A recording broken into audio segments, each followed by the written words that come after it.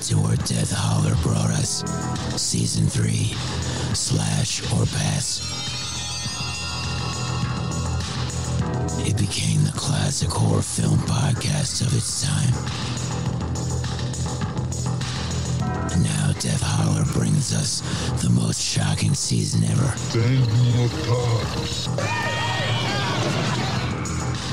Season 4 Dead or Dead. Yeah, they're dead. They're all messed up. Imagine, if you will, that one of the hosts is absolutely terrified of zombies. So, what's the plan? Bash him in the head, that seems to work out. Now, accept the fact there is no escaping this horror. Death Holler brings back the dead. Death Holler, listener discretion is advised. With hospitality like this, you'll never want to leave.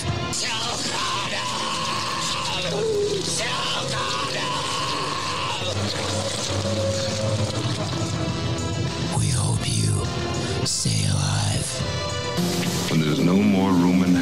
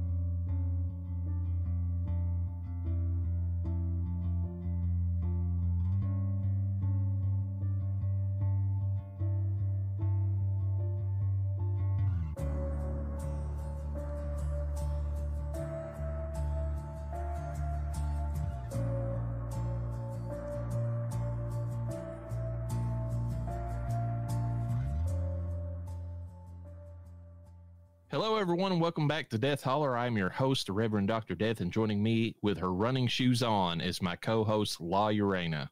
Do you think any of us have a chance against super fast zombies, Llareyna? Uh, hell no, not even with my fancy running shoes. Yeah, I think we're fucked in that situation. Yeah. Um, today, we are covering the Olympic runners of the zombie genre, the Usain Bolts of the undead, if you will. While Zack Snyder may have had fast zombies, the ones in these three films take the prize for just outright speed and brutality. If the zombie apocalypse involves anything like the creatures in these films, we can bend over and just kiss our asses goodbye. the only saving grace, assuming you didn't die immediately and become one, is that they are easier to defeat than traditional Romero zombies. So board up your doors and windows, hop on the treadmill, and get that heart pumping, and join us as we cover 28 days later, 28 weeks later, and World War Z. First up, if you're enjoying the podcast, we'd appreciate it if you'd take the time to like, comment, subscribe on whatever podcast platform you prefer. It helps us get more visibility on podcast listings and helps us grow. Also, consider following us on social media. You can find us on TikTok and Twitter under Death Holler Pod, and we can be found on Instagram and Facebook under Death Holler Podcast. We appreciate everyone who listens and hope you enjoy the show. You know, I have to say, I've listened. We get we get a few people here and there. They're like, "Why aren't you here? Why aren't you there?" Trying to fix. If you're listening on Apple or uh, what is it, Apple Podcasts or whatever, I apologize. I don't know what's going on.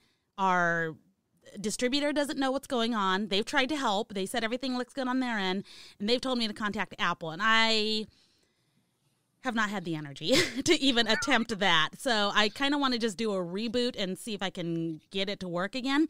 However, we did get ourselves on YouTube podcast. So I did And not know that was a thing. And then they turn around and send us an email saying this is banned in so many countries due to copyright infringement for the songs that you use. We're not in Russia. What are we going to do? What I- are I we going to do? Sorry, Russians. Uh, first up, 28 days later from 2002. Tagline His fear began when he woke up alone. His terror began when he realized he wasn't. That's actually really good. That is a good one. It's not as good as when there's no more room in hell, the dead will walk the earth, but this is a good this is top five. Yeah, I agree. It's it's one of the better ones. When I read it, I'm like, okay, that's fucking good. Yeah, and this Um, reminded me of him waking up alone. Reminded me of um, oh god, why ca why am I drawing a blank? Another zombie movie uh, that they woke up alone. Um, oh, not not um, not a zombie movie. Walking Dead. Uh, the Walking Dead stole their intro. It from has this. to is- be. No, it's it's a clear like I mean you could say what you want to. It's a loving homage or whatever from um, uh, Kirk Kirkland or whatever is that that wrote The Walking Dead, but like the comic because that's it's the same intro in the comic as it is in the TV show. But uh, yeah, it's it, it is definitely um, uh, stolen from that. So. Yeah, it came out because The Walking Dead, the comic specifically, not even the show. We know the show came out way later, but the comic is from 2003. So one Yeah. year. I don't know if they've ever even admitted it either. Is the sad part because I mean I, I think they might have, but then there's people that's like, no, it's he got this from something. I'm like, no, it's it's the same setup. Yes, I mean, 100%. there is no difference in it. Uh, there's no real reason that you would argue otherwise. I mean, um, so it's but it's it's kind of cool that they both have the same kind of intro in Yeah, that way. I like it. Um, all right, we have it. Uh, the movie is directed by Danny Boyle, uh, written by Alex Garland. We got music from John Murphy, made for a budget of eight million U.S. dollars or five million pounds. Uh, it actually made eighty-two point seven million dollars worldwide. So Barely made any money. Wow. yeah, yeah, it barely, you know, It- just. Almost You know, tanked. Uh, and remember, this is the movie that made Universal originally think, oh, yeah, go ahead and do your Zack Snyder remake. And then House of the Dead came out like, you know, a year after this. And they were like, oh, okay, scratch that. Apparently, zombies are dead now after just one movie. I don't, Universal's weird sometimes. Yeah, you know, I don't know. I don't look at as long as they keep doing good at Halloween Horror Nights, we can't complain, but we can complain about the movies and they need to get with it. uh, principal players, we have Killian Murphy. Never heard of Uh, him. I- yeah, I, I might have said Cillian at one point in time. His name's Killian, or at least most people say that. I thought it was you Cillian. know. um, but it's Killian Murphy, from what I understand. You know, uh, playing Jim, the former cyclist delivery man turned survivor. He he got hit while he was out delivering something, and that was probably the best thing that ever happened to him in his life. Because he would probably be a rage-filled zombie otherwise. Yeah, he got real lucky. Uh, he was uh, obviously recent success of Oppenheimer. I mean, he's all over the Oscars, and Never I think he even it. won. I think he even won the Oscar for that Whew. movie. Uh, Batman Begins, The Dark Knight, The Dark Knight Rises. He played Jonathan Crane slash Scarecrow in those. Um, all Jonathan or all uh, uh, Nolan movies hmm uh peaky blinders you know women are losing their shit over the character he plays in that because women like a bad boy and that's what he plays uh sunshine another danny boyle movie is one he did that before he did this one uh inception dunkirk uh quiet place part two I he actually had a that. very good part in that Yeah, I liked him in that. and then red eye where he plays the bad guy i believe Oh my god, he's playing the bad guy. Okay, do do you remember when he was playing? Basically, he was the Scarecrow in A Batman Begins and The Dark Knight, right? yeah Okay, do you remember when people were like not excited about that? I mean, I No. guess to be fair, don't you don't. I don't remember it because like anything that people might have said about that those movies got blasted out of my mind immediately after watching them and uh and I watched them and I'm like okay these people are idiots Th- these are amazing No, we know that. Like that's that's that's aside. We, like we understand that, but like before even he gets a chance, like it's the same thing that's going on with the Crow remake right now. You have this amazing actor that you know is an amazing actor, and you're like, regardless of how bad the direction goes, you know he's going to make that character amazing. the one thing that people are using against Skarsgård in the role of the Crow that is that look that they gave him of the Joker from the Suicide Squad movie, the first one, and everybody initially gave shit to the Joker look. Then everybody was like, wait, wait, you know, he's actually a good actor. He Mhm. could pull this, and he is in different roles. But the character ended up sucking just as fucking bad as everybody thought he was going to. And now uh, they're like, yep, if you look like that fucking freak, you're going to be, Yeah. you know, it's it's straight. And I don't, I do think Skarsgård will knock it out of the park. It's just that look. That look is tainted now. It, it's it's automatically gives you you know Gen Z you know twink you know bullshit vibes that nobody wants to put up with. So Now, the new person playing the Scarecrow is in Zombieland, I think. What's that actor, that kid? Is it Zombieland? are you ta- are you talking about Jesse Eisenberg? Yes, yes. He Oh no, he is he is he the new No, he's another character. he played uh and a very terrible job at it too. I mean, no no fault to him, but they just didn't give him much to work with. In Zack Snyder's uh, Superman movies, he played Lex Luthor. No, and- he did play Lex Luthor. Okay, I'm oh, sorry. I- God, that was awful. Ugh. Yeah. okay, I thought those two were put together. But anyways, yeah, um Killian Murphy, I didn't I didn't even know him that well as an actor and I didn't think he was going to be a bad um scarecrow in the Batman movies. I, I had no opinion about him. The the thing that they were giving shit about was um, uh, Christian Bale. I mean, every time there's a new Batman cast, they're like bullshit. You know, they and and now it's funny. They go back and and it's you know they they always say they'll never beat you know Michael Keaton and and like it's funny because when Michael Keaton was cast, everybody was like Mr. I- Mom. Mr. Mom's I going to be Batman. Freaked out. I was like this is not going to work and he truly ended up being one of the best Batmans. Did you see that one clip from the Oscars where Danny DeVito and um, Arnold Schwarzenegger were giving a, uh uh some award, and they were talking about how they were both in Batman movies, and they asked who Danny DeVito's Batman was, and he said he was in the audience, and they pan over to Michael Keaton. Did you see that? I didn't know. I don't It- I don't you- watch you- the Oscars. You need to look it up. I mean, I only know it Oh, because okay. I, it's on the internet, but like it's perfect because when they go out there, they, they talk about how maybe the two of them together can beat him, and it goes to Michael Keaton, and he he's not lost the beat. He's got that look on his face, like you want to get nuts, let's get nuts, Let's get nuts. And, he, and, and he moves his hands up, and he's just like, "Come get some," you know. Yeah. so it's like it's perfect. Um god we're going on such a tangent right now but danny devito recently did an interview where he was talking about batman films and he was talking about how he was the best penguin. And i mean hands down he was. Uh He don't have much competition though, No. sadly. So. y- no he doesn't. I mean he's sh- literally shaped like the penguin so hey you know what? Whatever. But anyways he was talking about the best batman and they were like they started naming all the different batmans and you know michael keaton was like the second or third because obviously he wasn't the first one. And he's like michael keaton. And they're like well do you want to see? He's like no michael keaton.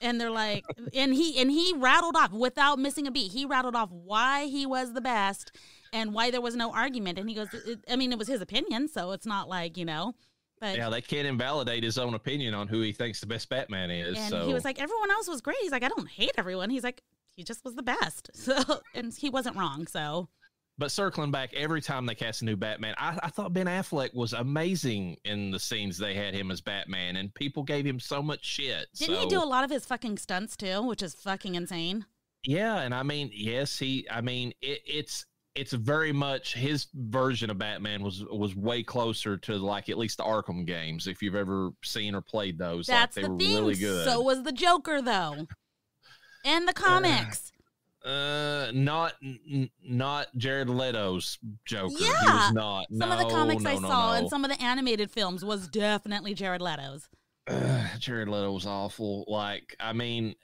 I, I know Heath Ledger. Uh, you know, I would even uh, Joaquin Phoenix is a great Joker. Yeah, those are more emotional jokers. This was again, like I said, this is more the fucking psycho psycho. Not calm psycho either. Uh Joker because you got to understand in the Joker films, you those guys were kind of making sense, were they not? They were crazy, but were they not making sense? Well, Joker has to make a little bit of sense. Though. I mean, that's that's the whole point of his character because him and Batman are like, you know, opposite sides of the same coin. Like, they're one is is seemingly sane. Batman, but Yes. he's clearly insane. He dresses up like a bat and beats up people. And the other one's clearly insane, but he has moments where he speaks truths that everybody doesn't want to admit. You know, it's like that's that's what they are. That's their dynamic. You know. Here on Death Holler, we do not discriminate talking about the Batman. Plenty of bats is- scary films. he his some of his villains are straight up horror. Oh, you know, they- they, really are. He's got a serial killer that wears a pig face or whatever, Professor Pig. So I mean, it's not like he's outside of it. No, he's definitely within that realm. And yeah, I don't know. I just don't place all the Jokers in the same. I know it is the character of the Joker, and Batman has kind of remained the same for the most part. But all the different characters that have played the Joker, I have enjoyed their version of it to a degree, but I've also seen it in different avenues, not just in the movies. So, like I said, I didn't. I wouldn't put Jared Leto in my top of the Jokers by any means. However, I have seen his version in animated and in comics and enjoyed it. And I was like, okay, well, I get it. I'm not saying everybody else has to, but that's just where I stand on it. I'm I'm Danny DeVitoing it right now. All we can say is that Margot Robbie, you know, uh, she. There's a reason Harley Quinn became popular. oh, you know, I felt like Harley Quinn was popular before, and then it was just like she was popular for the animated series, but she took it to a whole new level. Or Yeah. uh, Margot Robbie did, and now I don't know. She she kind of made a character that a role model for little girls that should never not be a role model. Mm-hmm. role model. I know, and that's sad. But you know, now that's what she. It's okay. She brought it back with Barbie. It's okay. she she stepped it back. We're good. All right. Next up, in our principal players getting back to the movie is uh, Naomie Harris playing Selena, who is a seemingly emotionless survivor in this movie. Uh, until she's not at the end, she she has a good character arc Yeah. that way. Uh, she was in Moonlight, Skyfall, No Time to Die, Jesus. Spectre, a lot of 007 Yeah. movies. Uh, I think she plays Miss uh, Moneypenny or whatever her name is, and and the new ones with or or the newer ones with Daniel Craig. Uh, she was in Pirates Pirates of the Caribbean, both at World's End and Dead Man's Chest, and she was in the uh, Dwayne Rock Johnson movie Rampage, which Jesus. it's, it's okay. It's not the best, but it's enjoyable for a popcorn film. She's got a good roster of films. Yeah, she Damn. she went. I mean, she went from being a virtual. That's something that's in the notes, but they wanted virtual no names for this movie, and and or people who'd not been in a whole lot, and a lot of them have went in went on to do a some pretty big films since this. But so, Killian Murphy wasn't good. one of these, or was he? Was he? He was at the time. He had only, I think, really done Sunshine. I mean, he was, Okay. and then that's when Christopher Nolan, you know, basically was like, "Hey, I really liked you. You know, do you want to be in all my movies?" And he's like, "Sure." And then now he's a household name. He's got a job for life. he pretty much does, yeah. Uh, Brendan Gleeson plays Frank, father and former taxi driver, and uh, can't figure out how to harvest water for shit. uh, he was in the Banshees of Inisherin. Uh, the guy literally cuts off his own hand or fingers, at least, just to spite Colin Farrell in that movie. It's it's a whole thing, but Jesus. it's it's it's interesting. Uh, he was in in Bruges, uh, The Guard, Ballad of Buster Scruggs, Edge of Tomorrow, Harry Potter, where he, uh, I mean, in, in a couple of different ones, he plays Mad-Eye Moody in those. If you've ever seen them, which I know you have it because you're not not a big Harry Potter person. Uh, Mr. Mercedes, Stephen King uh, based TV series, uh, Ghost in the Graveyard, and The Raven. He's been so he's been in quite a bit too. Yeah. Mostly plays like a character actor part or whatever. Uh, Megan Burns plays Hannah, who is Frank's daughter and the youngest known survivor in the at least in the first movie. She decided she didn't want to go into acting or gave it up for a good long time, went into music, and only recently came back and started doing shorts within the last like five years. Okay. So, uh, Christopher Eccleston plays Major Henry West, who is the leader of the last known military blockade. And he is primarily known by Who fans or Whovians as the Ninth Doctor, Okay. um, which is funny because World War Z has the 12th Doctor in the movie. So it's kind of weird that they yeah. kind of got those. He was also in Thor: Dark World, uh, Gone in sixty seconds, and the flu. And he narrates a, a documentary called "The Flu That Killed Fifty Million, which is about the Spanish flu. Okay. Which, He does have a good narrating voice. yeah, he he's a great actor. I mean, he he's really good for what he does. Yeah, regardless of who he was in this film. Yeah. Well, it's funny. You can tell the other military guys in this movie are there's something wrong with them. hmm but he is he's so good like until he reveals his ulterior motives Yeah. he seems like a good guy like he totally does I we'll get into it in the film, his character and what he was trying to do. So, Yeah. Um synopsis. Jim wakes up from a coma to find that he is the last person alive. I can't do or it. at least or at least it seems that way until a psychotic priest and his few living parishioners start running toward Jim. Uh, 28 days earlier, a rage virus had escaped an animal testing lab and spread like wildfire over jolly old England. Now, the few the few people who remain uh, uninfected live in fear of exposure to the infected blood and the psychotic rage-filled monsters it created. Jim is running for his life. Selena is pretty handy with a knife, and Frank is seeing red. See what I did there? be thankful for everything, for soon there will be nothing. oh my god, that's good. That's sad. Uh, Uh, other taglines day one, exposure. Day three, infection. Day eight, epidemic. Day 15, evacuation.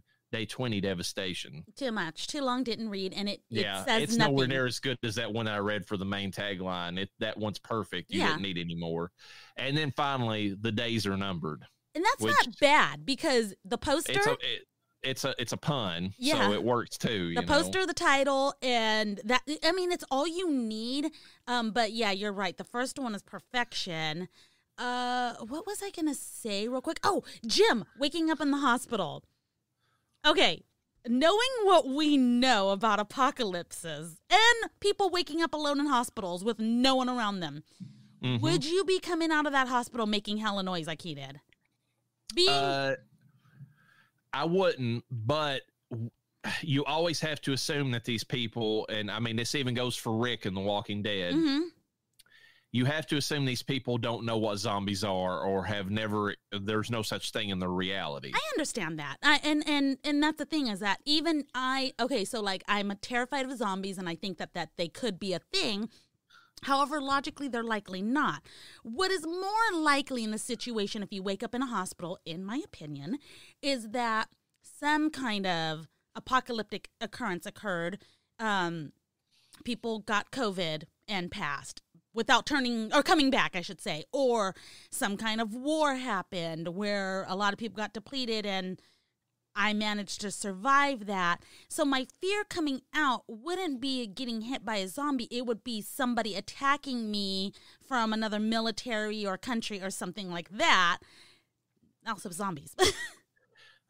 Well, here, here's here's two thought, thoughts about that. First of all, yes, anytime that there's a major catastrophe, they they they always tell you that training in the for the event of a zombie, I mean, or at least prep, you know, survival prep people will tell you yeah. training for a zombie apocalypse is not terrible in the sense that it trains you for what will really happen, which is, you know, the lack of resources will cause people to go to their most primal basic nature, which is to say pillage, rape, kill. Yes. And you need to treat them like you would treat a zombie and keep them in arm's length and fucking be ready to kill anybody Yeah. who moves in on you. So that's you know that's perfectly good to treat uh, you know like it could happen because in a roundabout way it can. Secondly, here's something to think about. So if you believe in the idea of like this, is just a thought experiment of like uh, parallel universes and you know the and, and that sort of thing. What if Romero, by making the first zombie movie, prepared us and and made us to where we are so uh, acknowledgeable of a potential zombie, you know, threat that that keeps us protected in a roundabout sense. Because if we started seeing like something like this pop up, most of us be like, "That's a goddamn zombie! Kill Yeah. it, kill it now, kill the fire, get rid of it." Like, I mean, we're prepared to stop it before. I mean, or at least within reason Yeah. versus like all these other universes we see in zombie movies where they're like, "What's that dead body over? Let me lean over top of it and see if it's still breathing." cough, cough. World War Z. Um, um, but you know what I'm saying? It's just like I think that because we have that as part of our fiction, like maybe it, it protects us from the possibility of it happening. Yeah, I mean, like he he's confused. All he knows he got hit. I'm surprised he even remembers he got hit by a vehicle because he was out for 28 days. And how long was he? Oh, I guess it must have been just a couple days that the hospital was out. Because I'm like, God, he would have gotten an infection at the sites where he had his, you know. I always think about that, and there's also the possibility too, and uh, that I don't know if you've ever seen this, but if you if an IV bag runs dry at a certain point, like because of viscosity and like surface tension, Mhm. it starts pulling blood out Yes. of your body. So you may it makes you because they actually used that in one of the movies that it was Halloween two. Remember the original Halloween two? Michael Myers used. I mean, of course he he positioned it down Yeah. so that you know like um uh, gravity would feed it more. But if there's nothing going into your veins, it will start pulling stuff from your veins, even if it's a little bit, because it can't travel all the way back up to the bag. Yeah. It's still going to be draining blood from you. So every time I see that in these things, I'm like, why are they not bleeding? They they would be bleeding from this because the, the IV Yeah. would be pulling. That or um, the machine was obviously off. There's no power at this point. So it's not like it was, you know, doing anything. So I'm thinking, well, it was just a stagnant needle in there at that point.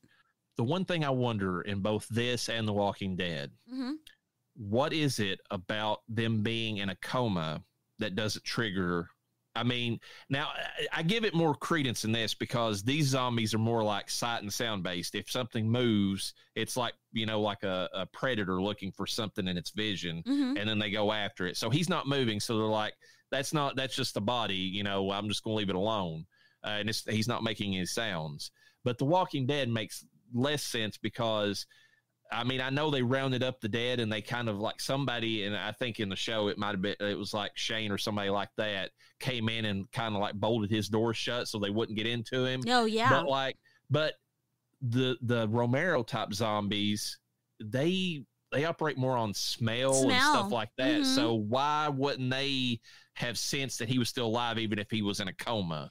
You know? Yeah, I mean, other than like you said, Shane fucking jerry rigging his door, um, hope, hoping that it would work, and not even knowing if he was alive. They didn't know if he was alive. No, you they know? didn't. Yeah, so I mean, he was just kind of doing that as a precaution. But um same thing with what's his name. So these zombies have the rage virus and they only work off of movement in my opinion. I, they're not working off of sound. They're working off of movement, sound, something that will attract them. And I've not seen them unless you've seen it, I have not seen them open a door other than crashing through something or mm. going through an already open entrance. they have to open a door because, and this is something I have a problem with. Okay. 28 weeks later, Don is inside of a sealed room with his wife, who you know when, Oh, when he gets infected, and he has a and he can only get in and out of this room through a key card, and somehow he has enough of his zombie brain. Yeah, to, To be able to swipe that and get out of the room, I, I've never understood that. It makes no Okay, but that's sense. round two of the virus. It has enhanced at this point. We're talking about 28 days. I'm just kidding. Um, uh, kind of actually. Who knows? I think I think the lore is more consistent in part one. They, the, you're right. Yeah. They don't use doors. They bust through things. Um, they, I mean, but they use your, their sheer numbers and strength to get through. You know, like if they can, you know, break through or smash through, that's what they do. Now know? they specify that this is a virus, but is it a virus or is or is your body a host to a what is that called when you're host to some kind of not infection, but um, some kind of why why can't I think I mean, it's oh, you mean like a parasite? a parasite? Yeah, well, they the way that it transfers through the blood, it, it's more. It, it would be more viral, Viral. because Okay, uh, parasite usually has to have. I mean, because it's nasty, but the you usually worms or something Mhm. like that. They have to be able to procreate and pass on their stuff that way. Okay. So that's you know, but yeah, it, I, but anyways, the I think it's a it's it's it's stretching the imagination a little bit to think that he could just lay there and nothing would have happened to him for you know while all that stuff was going around Mhm. because he was still been breathing. So I wonder if that would have triggered a rage zombie. But maybe they were just they were so. I mean, the rage zombies were seeing so many other potential, you know, Mhm. things. it just that that dragged what them away. him. Uh, yeah, I think he was so still and so, I don't know, generically alive, if you will, that it it wasn't even on their radar. It was like, oh, Just- there's a person over there, attack, you know? Here, here's a question for you: What if he was snoring while he was in his coma? Now that would have killed him. Can would you do that him. when you have the? Did he wait? Did he have a? He didn't have a breathing machine, huh? no, No, he could have. You're right. Oh my god, no, he would have been dead. Yeah, I mean, if you'd have snored whatsoever, then something would have went like started twitching whenever they heard that snoring and came right after you. But as you recall in this movie, I had not seen one zombie open a door. So I don't know. They would have figured it out though. If they had definitely heard him, I think enough zombies would have pushed against the door. I think it's those push doors. I don't think it's the pool where you have to get in. So in a hospital, at most, it would have been the kind of doors that you know you press the handle down, and one of them would have accidentally done it and got in there. They and they would yeah, have done it. one hundred percent. And how was he the only one in a coma? There's no way he was the only guy in a coma unless other people woke up and then they were taken out. You know, Here's another terrible thought that just came to my mind, This and I so hate fun. to even bring this up. I love this. The infant part of the hospital, when they started crying, the rage zombies would have got them. Oh, 100%. But then, like, I mean, like, no, they would have definitely. But, like, what happens? And they're just little rage babies with gum? Like, are they going to gum you to death? Like, Yeah, I don't know, but that's a terrible thing to think about. And when those babies, because they would have started crying, because that's what they do. Yeah, and, the and then all of a sudden just twitching and running in there to get them. You yeah, know, baby rabies, man. Ugh. It's horrible. uh, quotes for this movie as Jim enters a dark abandoned church when he sees the writing on the wall. Uh, the, the writing in question: "Repent, the end is extremely fucking nigh." Um, it's not a lie. Nope. Um, Jim finds his dead mother, who holds a photo of him reading the words that his mother wrote on the back. Uh, from Jim's mother, with endless love, we left you sleeping. Now we're sleeping with you. Don't wake up. X. I was wondering what said. I I saw "wake up" and I was like, "Does it say I hope you wake up?" And oh my god, that is that's um wow. Okay, that's dark. Yeah, and that's the. There's a lot of really good things in this movie from Danny Boyle where he does like world building without, I mean, by showing and not telling or not saying a word of Yeah. dialogue or anything like that.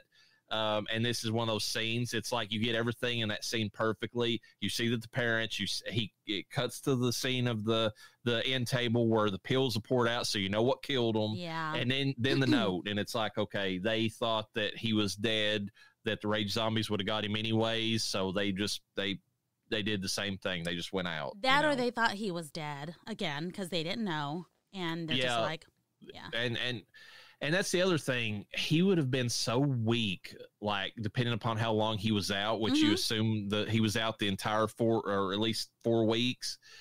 His body would have, his muscles would have wasted. Mhm. He would have been starving, which they do bring up a little bit in the movie because he talks about having a pounding headache. Yes. and and she tells him he's operating on pure sugar and like his body is just like screaming it's like i need fucking protein i need vitamins i need something like i don't have anything Do you you think that's how his body woke up because he was no longer receiving nutrients from the hospital? So his body's like, because you know, like a diabetic's body will try to do whatever it can. It will squirt what sugar from the liver to try to bring your sugar up if you're super low.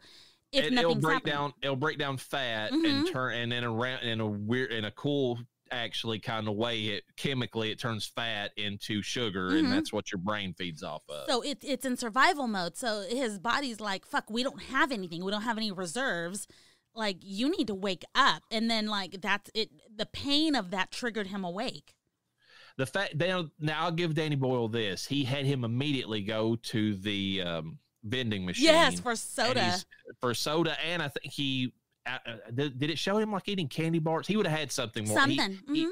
yeah, he would have had to had something more than that. I mean, to eat because like his body was literally dying for from hunger. At That point. Exactly. And it woke him up. So I'm thinking that's what took him out of that coma. It, it probably was, and it's probably the same thing that they used for the excuse of why Rick wakes up in The Walking Dead. Rick did a better job of waking up very weak and not able to walk.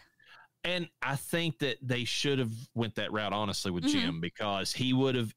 eh, just imagine how weak you are. Like not even just a headache. His eyes would have not even been focusing right. He Mm-mm. would have been seeing like blurred vision. Like I mean, his whole body would have been like you know just in a terrible state from how hungry he was. Yeah.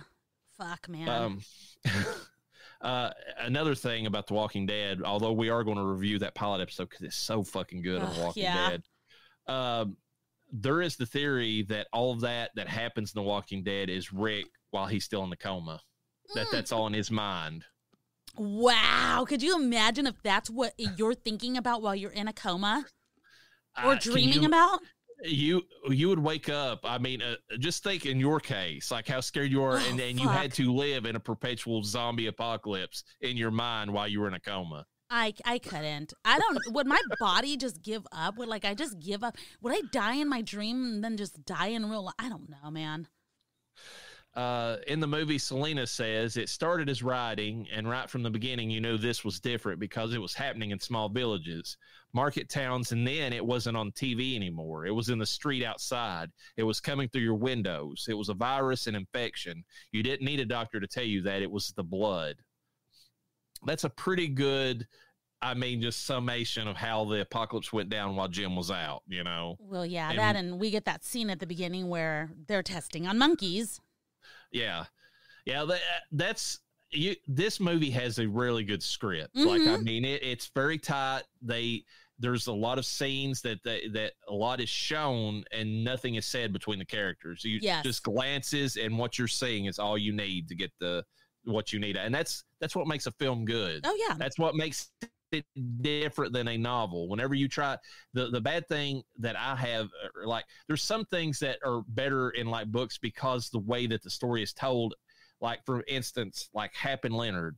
I know that some people like Mike from you know Rain Man like the TV show, but I didn't because the whole point of Hap and Leonard is that you're hearing Hap's thoughts on everything hmm and he is so funny in his thoughts that it, it makes the story better they never got that in the show because it's it's ridiculous what's happening to the characters but you but hap barely speaks because all of his mo- his you know his interior monologue is in his head and you never get that in the show. Yeah. and it, and it misses something. But this is the perfect way to tell a story because it's visual. Like you know like i said the the pills on the, the, he doesn't have to say it. You you saw it you know and you know you can make the inference and You know what's going on. Yeah. Uh and then she goes on to say there was something in the blood by the time they tried to evacuate the cities it was already too late the infection was everywhere the army blockades were overrun and that's when the exodus started the day before the TV and radio stopped broadcasting, there were reports of infection in Paris and New York. We didn't hear anything more after that. The one problem I have with this is that 28 weeks makes it seem like it was contained on on the Isle of Britain, you know. yeah.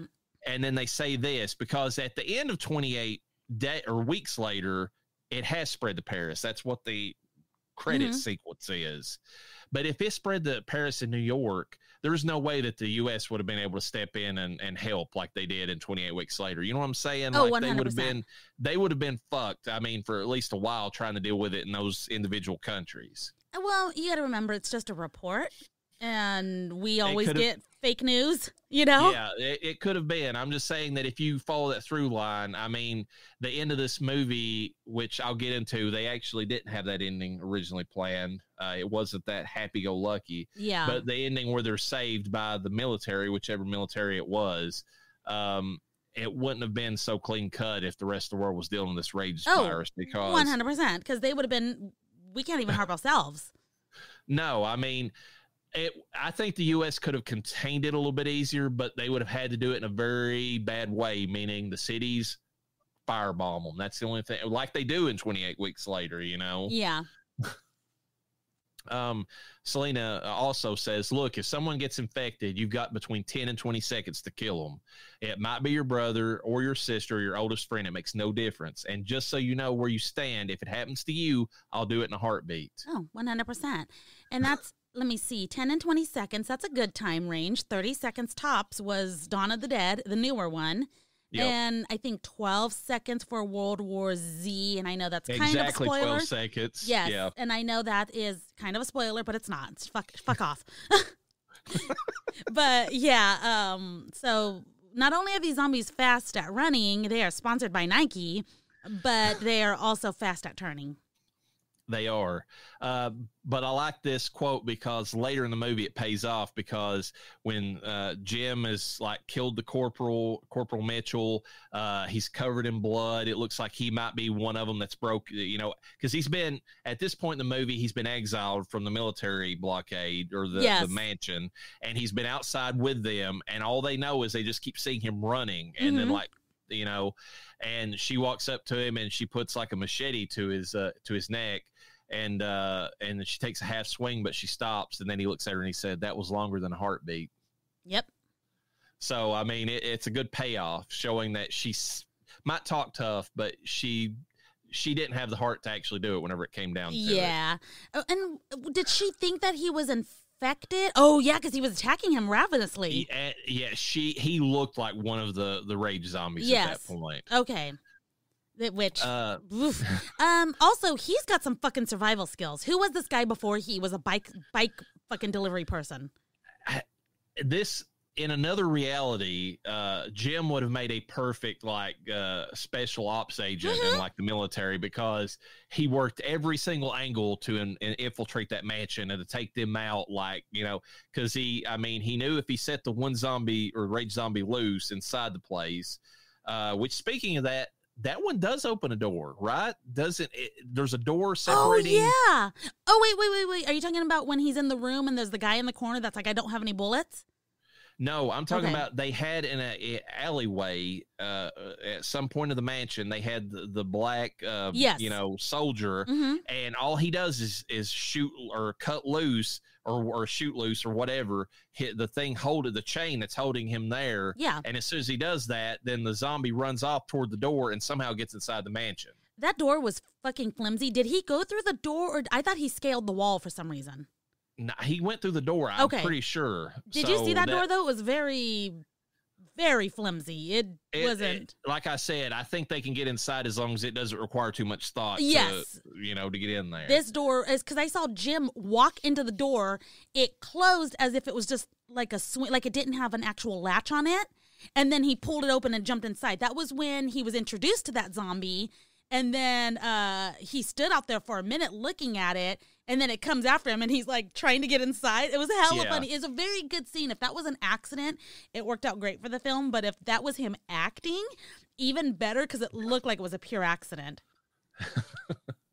Um, but yeah, getting back to his like ability to infiltrate the place, like I mean, Mhm. him using the zombie and then like he or the rage human, whatever you want to say, and uh, and then he he he goes at them one at a time. Like he does it. He knows if he goes in a group that they've Yeah. got the guns, they've got the weapons, but he picks them off one by one. Well, they don't know that he's there. They think they all at the mansion. They suspect that he's dead already, and then they don't know that this fucking uh, zombie is running around. Which that was kind of it worked for Jim, but it almost didn't. That was very It- dangerous. Yeah, it well, it was a it was a tactic that he knew could be. That's why he was specifically going after the two of them because he knew he was playing with fire in that Yes. situation. Um, but even before he even gets back to the mansion, when they track him back to the blockade and he's running that, you know, Oh, the yeah. air siren warning, he knows that that's going to attract more of them. Mhm. And but also when the two of the the soldiers comes in, he makes sure that he that one of them sees him just enough to where and and, he, and that's even a gamble because the other one could have stopped and said, "Hey, he's over here." Yes, But he but he knew or he had an inkling that this guy would just try or was thought that he would macho man it and just go after him himself. yeah, And that's one and then he was able to take him out and then lured the the the captain or whatever back to him. And and you know, and that's whenever the the rage zombies are already there and ready to take him out. rock So, and roll. Uh, Mark, uh, a man walks into a bar with a giraffe. They both get pissed. The giraffe falls over. The man goes to leave, and the bartender says, Oi, you can't leave that lion here or there. And the man says, No, it's not a lion, it's a giraffe. and Mark, uh, Jim remains silent, just looking at him uh, as he takes his mask off. And, and Mark says, completely humorless, You two should get on like a house on fire. uh, I mean, I don't blame Jim because, like, just imagine his headspace. He's like, "What the fuck happened while I was in a coma? I feel Yeah. like shit right now. My head is pounding, and you're telling me some stupid ass, you know, Dad uh, joke. Dad joke, yeah." uh, Jim later on in the movie, oh great Valium! Not only will she be able to get to sleep, but if we're attacked in the middle of the night, we won't even care. I love or that. not only will we, yeah. Yeah, I love that for us. Let's everybody, Prince Valium. I'm sleeping with Prince Valium tonight.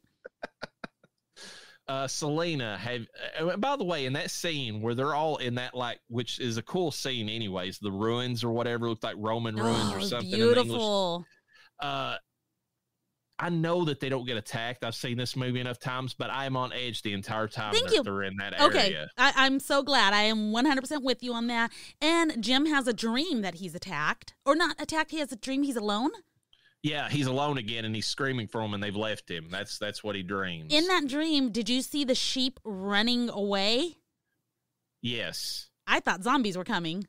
yeah. I mean, and and but the entire time I'm like, oh god, they're doped up. They're not. Mhm. And if if one of them runs around, and and I kept thinking honestly too that that was where Frank, you know, got the drop from the, Yes, the you know, from same. above, and and I was just like the entire time I'm like. Fuck, just you're yeah, don't sleep out in the open. They even mention it in the movie. They're like, "This is not a good idea." Yeah, and not only that, they had a fire. They had a True. I fucking mean, fire. I was like, it would be one thing. Now, hear me out for a second. Did you not see fucking houses around that? Am I crazy? I swear I saw cottages. there might have been, and here's the thing, especially when you watch, watch 28 weeks, Uh huh. Like seeing the mob in the countryside and what they can do to a place That's that's, even boarded up. I mean, it makes you even more like, oh God, like how did they even survive this? Because they were out in the open. Like you know that it just took like a random rage zombie like walking by that would start screaming, drawing the rest of them, and Yeah. then they're you know there they are. Like fucking banshees in Left 4 Dead, where when she starts screaming, everyone starts following. oh yeah, exactly. Uh.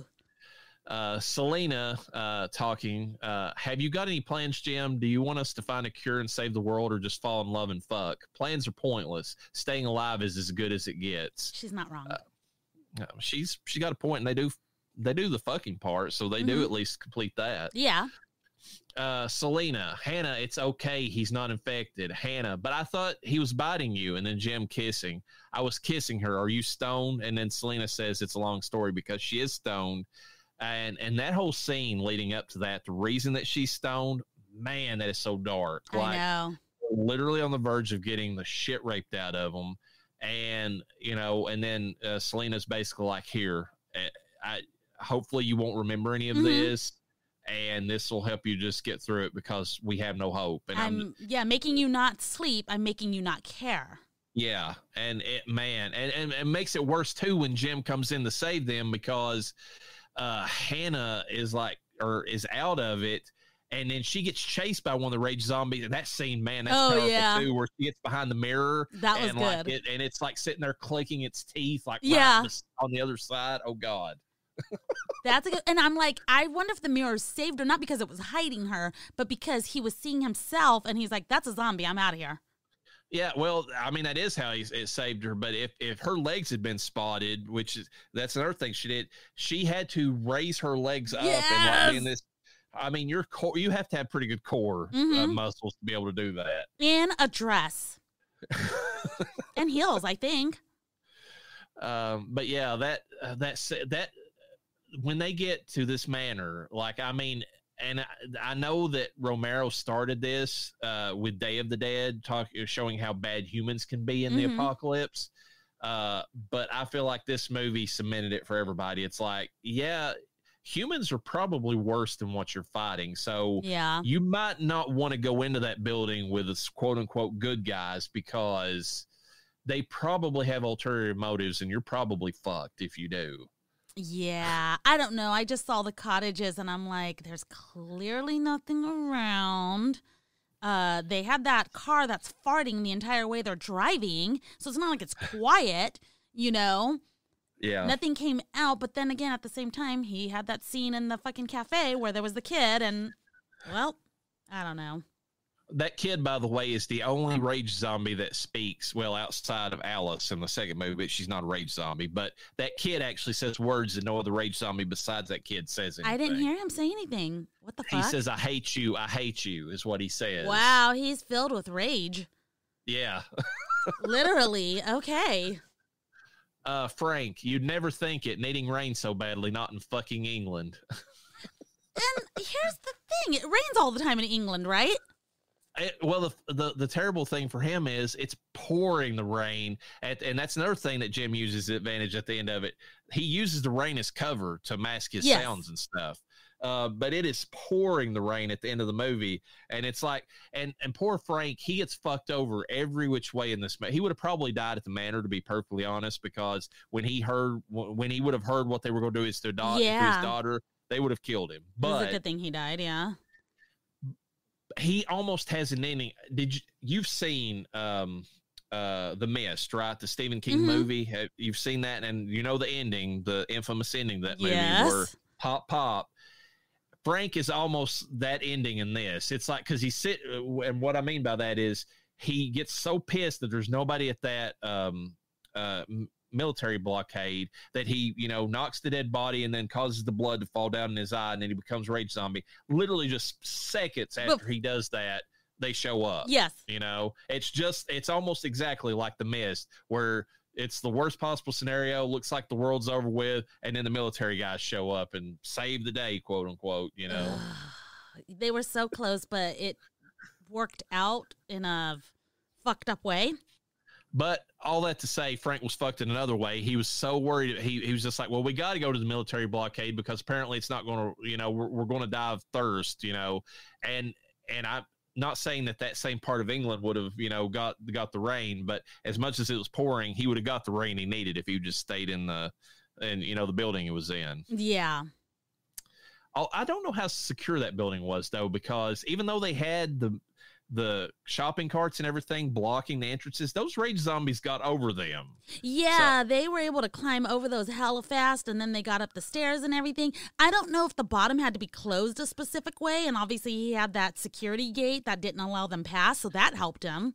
Yeah, You But know, I, I don't know how I don't know how secure they were in their apartment building. But regardless of that, he they might have had a better go of it if they'd stayed there. But that's you know yeah, it seemed like everywhere where they were holding up had a lot of junk at the bottom that they had to climb over, and everything looked very compact, if you will. yeah.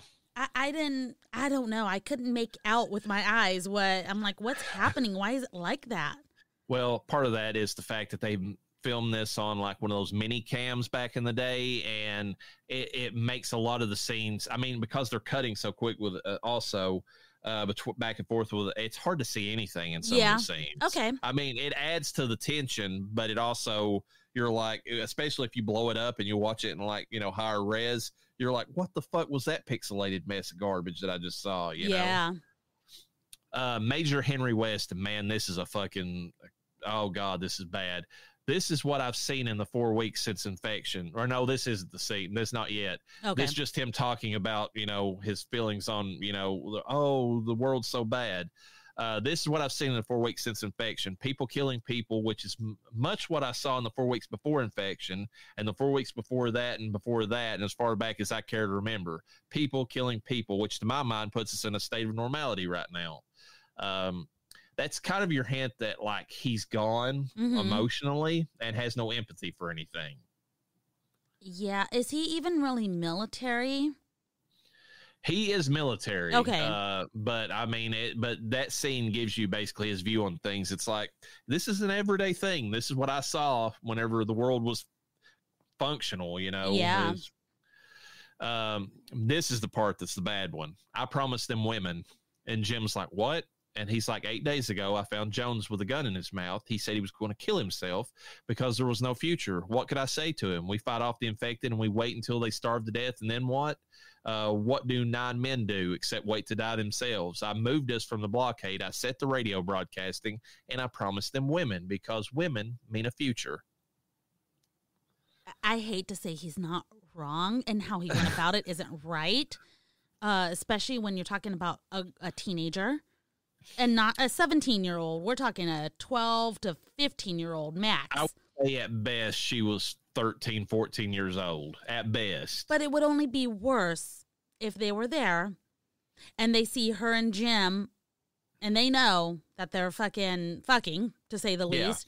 And Yeah. they're just salivating. It's like somebody eating steak and they're over here fighting, protecting everyone. And for what? They get nothing. Um, and I, I feel some bit of sympathy for Henry because he's like, I want them to be able to have the will to keep fighting and keep not only keep fighting but keep living. Yeah. as a team, they benefit everyone when they're alive, you know. But are there going to be women and is there a future? You know? Yeah, but for all they know, that mil- that the city behind. I mean, whenever you, that's another thing I love about this movie is the visuals. The city behind that military blockade is done. Like it Mhm. is ghost. It's a ghost town. So they know that everything around them is just done. Like I mean, and and and so they're at that. They've swallowed the black pill. Basically, they're like, this is it. We're the only ones left. If any women shows up, that's our only chance to basically restart the population. Yeah, which is oh, it's disgusting, but I, don't- I don't know. I don't know how you rectify that situation. Um, You- do the right thing and don't rape women. Well, I mean, that's one way, but I mean, on the one hand, you're sitting there and you're just like, it's so cold and emotionless. But again, they he's already hinted at the part at the little dinner party they had when the eggs were off before that that he's he was already emotionless before the apocalypse happened. I mean, because Yeah. he had seen so many people kill, you know, each other that it was just, I mean, it none of it affected him anymore. Yeah. Uh, but that's one thing about the dialogue in this movie. I Mhm. mean, there's when it hits, it it fucking it's a sucker punch. Yeah. I mean, it's they they save the. I mean, they don't. There's not a lot of extraneous bullshit in this movie. Then a normal person would have looked at that quote and been like, oh, like, how could you even think about that? No, How could you not be thinking that that is potentially some a danger that you would face in this? You know? Yeah, and I mean it's and he's and he's also looking out for his men, which there's a some there there's some as sick as it is to Yes. say, there's something noble about that. One hundred percent. You know, he's looking out for them because that was his that's his whole job now is to make sure that his men are taken care of. I would never want to bring my daughter in this situation. I would not want to be a survivor and walk into a situation where there's a bunch of men and it's me and my daughter. Nope. Mm-mm. Because, and I wouldn't be able to empathize. I wouldn't be able to be like, ah, I get it. Like, you know, they've been out here, they're protecting us. Yeah. I wouldn't feel that way at all. No, I mean you you it puts a whole new pers- I mean it's one thing for guys to imagine what they would do in the apocalypse. It's a whole other thing for women because when society goes back to the way it was, life was not good for women. Uh, we, we all know this. We're It's so oppressed anything- now. No, we're not. Yeah, yeah, yeah, that's the thing. It's like you know the bullshit feminists now that talk about how these microaggressions and and how you know it's like, do you realize where you was at? I mean, have some perspective about how the world is versus how it was. You Yeah. Know? Uh, we've kind of talked about some of this stuff already, but visually, I mean, even though it's shot on that shitty camera, it kind of adds to like a documentary feel to it, which makes it feel, feel more realistic. So I know why they did it. Mhm. Uh, it just kind of sucks now because we don't have a good visual version of this movie to watch on higher def TVs. yeah. Like it was fine back in the day when this movie came out because the TVs wasn't that high def. But when you try to watch it now from a even a DVD, which there's a whole discussion that we've had Oh, yeah. there about how this is not available anywhere. Don't try to stream it because it ain't out there. Uh, and that's why physical media is important, folks. You want to preserve these movies. But if you try to watch a DVD now on a 4K of this, it there are lit, there, there's one scene where they're driving and it pans out and it shows like these uh like wildflowers, lilacs, whatever they are out in the field. They look like an impressionist painting now because of how Okay. pixelated they look. Oh my god, that's so funny. We did not watch on 4K. We did stream it. Um that's none of your business how we got it. But Yo ho ho, off to the pirate seas we go. which everybody's like, this is why I'm a pirate now. you know, when everyone's like, it's not available on physical media. Which what, what is their excuse for that? Um, they they said, oh, Disney lost access to it. yeah, uh, Disney's a bullshit company. Like they, they, I think they finally realized that if they want to make money now, well, they, they were holding off before because they were like, we can, and now that they're in financial situation, you know that they're in, they're like, okay, we might need to release some of this on physical media and get some money that way since we're not making money any Yeah. other way. and they've they've gotten smart and they've actually handed it off to Sony, who is really good at, at Oh, distributing. media. Yeah. Um, so I'm hoping that we get a lot more stuff now, especially the Fox catalog, which is a damn shame. Between the Fox and Miramax stuff, there are so many movies that we do not have on 4K because uh, Disney was holding on to them and like, yeah, we don't think that that should ever be released again. And it's like, are you going to put them on Disney? No, that doesn't fit our brand. It's like, so how do we Where are you going to? Are you going to open up? What is is it? Miramax that did Nightmare Before Christmas, or what was it? Um there's a lot of movies that Miramax did that that I mean like uh Scream there, one of the Scream Scream 4 still hasn't got a 4K and I think there's some kind of rights issue there because Sony owned all the Screams except for that one and I don't know who has the license for it but they but it's it's D, or Blu-ray's the best you can do with that one but at least it's got a Blu-ray this movie doesn't Yeah. have it just has the DVD that's Yeah, all you got and if if- you can find it If you can find it, and I think there's people that are fucking burning and selling, you know, burnt copies of it, whatever. However you Oh, I, get it. I found I found a website that has both it and 28 weeks later on Blu-ray that's been burned. It's not Wow. an official site, Yeah. but if you want to get them, just uh, y- take your sloppy seconds. Is all I'll say. Exactly. They're promising that they're going to come out with, you know, physical media, but they cannot figure out the details of, well, Disney had it, but now they can't legally own it. And now this place has it. So they're going to try to distribute it, but there's really nothing being said. And then there's the rumor that, oh, well, 28 years later is coming out, which when would that be released? I don't know. Two years from now, when when when that's supposed to come out, I don't even know at this point. No, it'd be 2032, wouldn't it? Um, No, no, no. No. It'd be 2030. They, they surely have to be releasing that before then. Yeah, I don't think Cillian Murphy would be. He's supposed to have signed on and agreed to that one. I mean, Oh. what what the current rumors are. He'll be back. Okay. So Um, that's where we're at right now, though. But visually speaking, this movie, I mean, I think we said it right before we started recording, or I said it to you. This has the best representation of an apocalyptic feel, or uh, amongst the best of about anything out there. When he wakes up and the way that London, or I'm assuming that's London, looks, hmm it i mean it, it's just like we talked about with some of the scenes from omega man and or and uh, last last man on earth it gives you that creepy like okay the world is empty vibe you know Yeah. Until it's not empty and then you're like i wish it was empty again because i don't like what's here I don't. Yeah, no, that was that was horrible. I, the thing that sucks is that you, you went into this movie know what you knowing what you were gonna watch. So when you see him in these apocalyptic streets and he's like, "Help, hey," and you're like, "Shut the fuck up! Why are you so fucking loud?" yeah he keeps yelling he's like anyone hello hello You're gonna be one of them here in a minute, sir. Um, I, he's just lucky that the majority of the the rage infected by that point were mostly starving to death themselves. Yes. and were like out of the game. I mean, because if they had been like Don had to deal with in 28 weeks at the beginning of the movie, he would have been fucking toast. That's Yeah. all there is to it. but I mean, but the movie is so creepy at the beginning of it, and it, I mean. And it, it doesn't really get any better because everything's run down. I mean, Mhm. you can tell Yes. and when they get and when they get to the mansion, and especially if you know what's going to happen at the mansion, it, it, it I try to remember the first time I watched this. When they get to the mansion, you're like, "Oh God, they're saved." That feeling of hope goes away real real quick. fast. real fast. But everything in this movie looks run down. It's got the ap- apocalyptic vibes. They they did a great job. Yeah. Um, Reverend, I'm gonna I have to mark this down. I need to get some sugar. I my sensor is renewing, so it's not really and I'm guess I'm getting an insulin dump. I need to get some sugar real quick, so Okay, I'll be right back. I'm alive. good to hear. All right.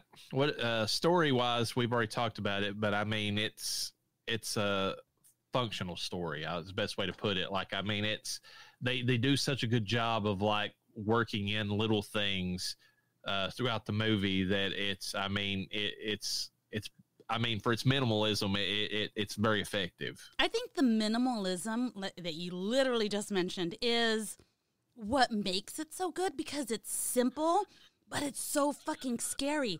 You have an outbreak, it rips apart this country, town.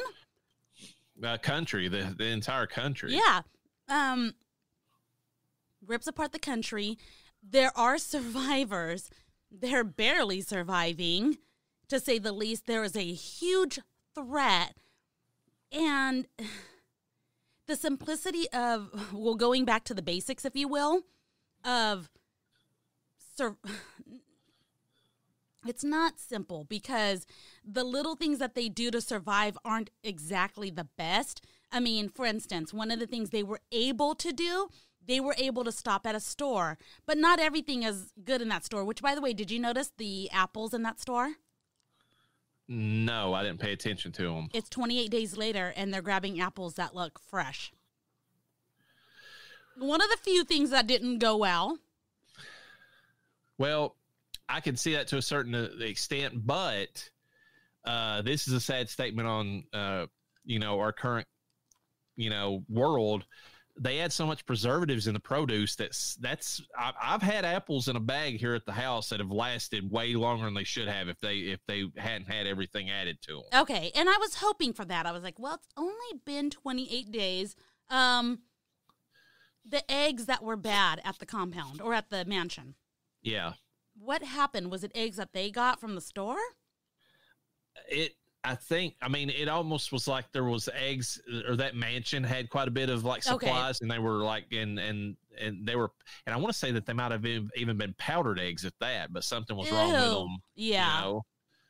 but um, Um, I think the uh the only scene that really stands out is being like i mean and and this it's such a good tension filled scene but it it's it, it makes you i don't know qu- i mean and they even bring it up in the movie so they call it out is the decision to drive through that tunnel it's like Oh, "Mm, yeah. this is not a good idea don't fucking do this did they have to? N- well they they had another route they could have taken because he mentions that but it would have added more time and possibility of them running out of gas if they tried to do it Okay, which phew, fuck. Um also was a good scene though. Good tension scene. I think I understand why they had to do it, but also was a good scene to show how quickly that little girl can change a tire. Her dad well, trained her. that, that and whenever the rats show up, that's like uh, one jump scare. But then they're like, "Why are the rats running?" And then you see in the background like the ra- the the shadows for the rage. It's like, oh fuck. I was like- worried that the rats could uh carry the rage virus, which they probably can. They probably can, and I was worried about that too because I mean, you know, what. Well, they established in the movie, I think it spread through primates. So maybe they were lucky in that sense that they couldn't, but there's a lot of viruses and illnesses that are, you know, spread to humans that come from rats. Okay. And I mean, rats are used in experimentation quite a bit for that reason. So it makes you think rats might be like, you know, in in a in a very terrible world, those rats would have carried the rage virus, and there would have been no chance. Of no chance of survival 100% okay so primates so there's monkeys humans what else What you school me like i'm a kindergartner Well, I mean, it's pretty much that. I mean, there's you know like all the different you know versions of monkeys, gorillas, you know, Yeah. uh, I mean, uh, chimpanzees, that sort of thing. Which, God Almighty, can you imagine a chimpanzee? Is you've heard the story about the woman who had her face ripped face off? Face ripped off yeah. Can you imagine a rage-filled chimpanzee like with their strength? Like if they were out on the street, you'd be. I mean, that by itself is scary enough. I mean, humans are scary, but I mean, Yeah. chimpanzees have a strength that we don't. We don't have Oof. okay for size, at least. Well, then I like the fact that it's identified that primates are the prime uh, way to transfer this virus. I shouldn't say transfer, but uh, host, if you will.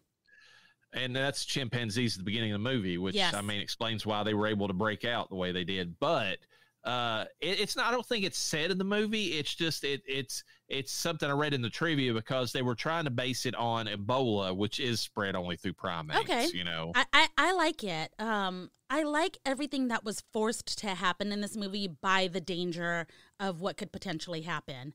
Um, Fast moving zombies, you don't really stand a great chance. Whereas slow moving zombies, you kind of have a little more reaction times and things like that.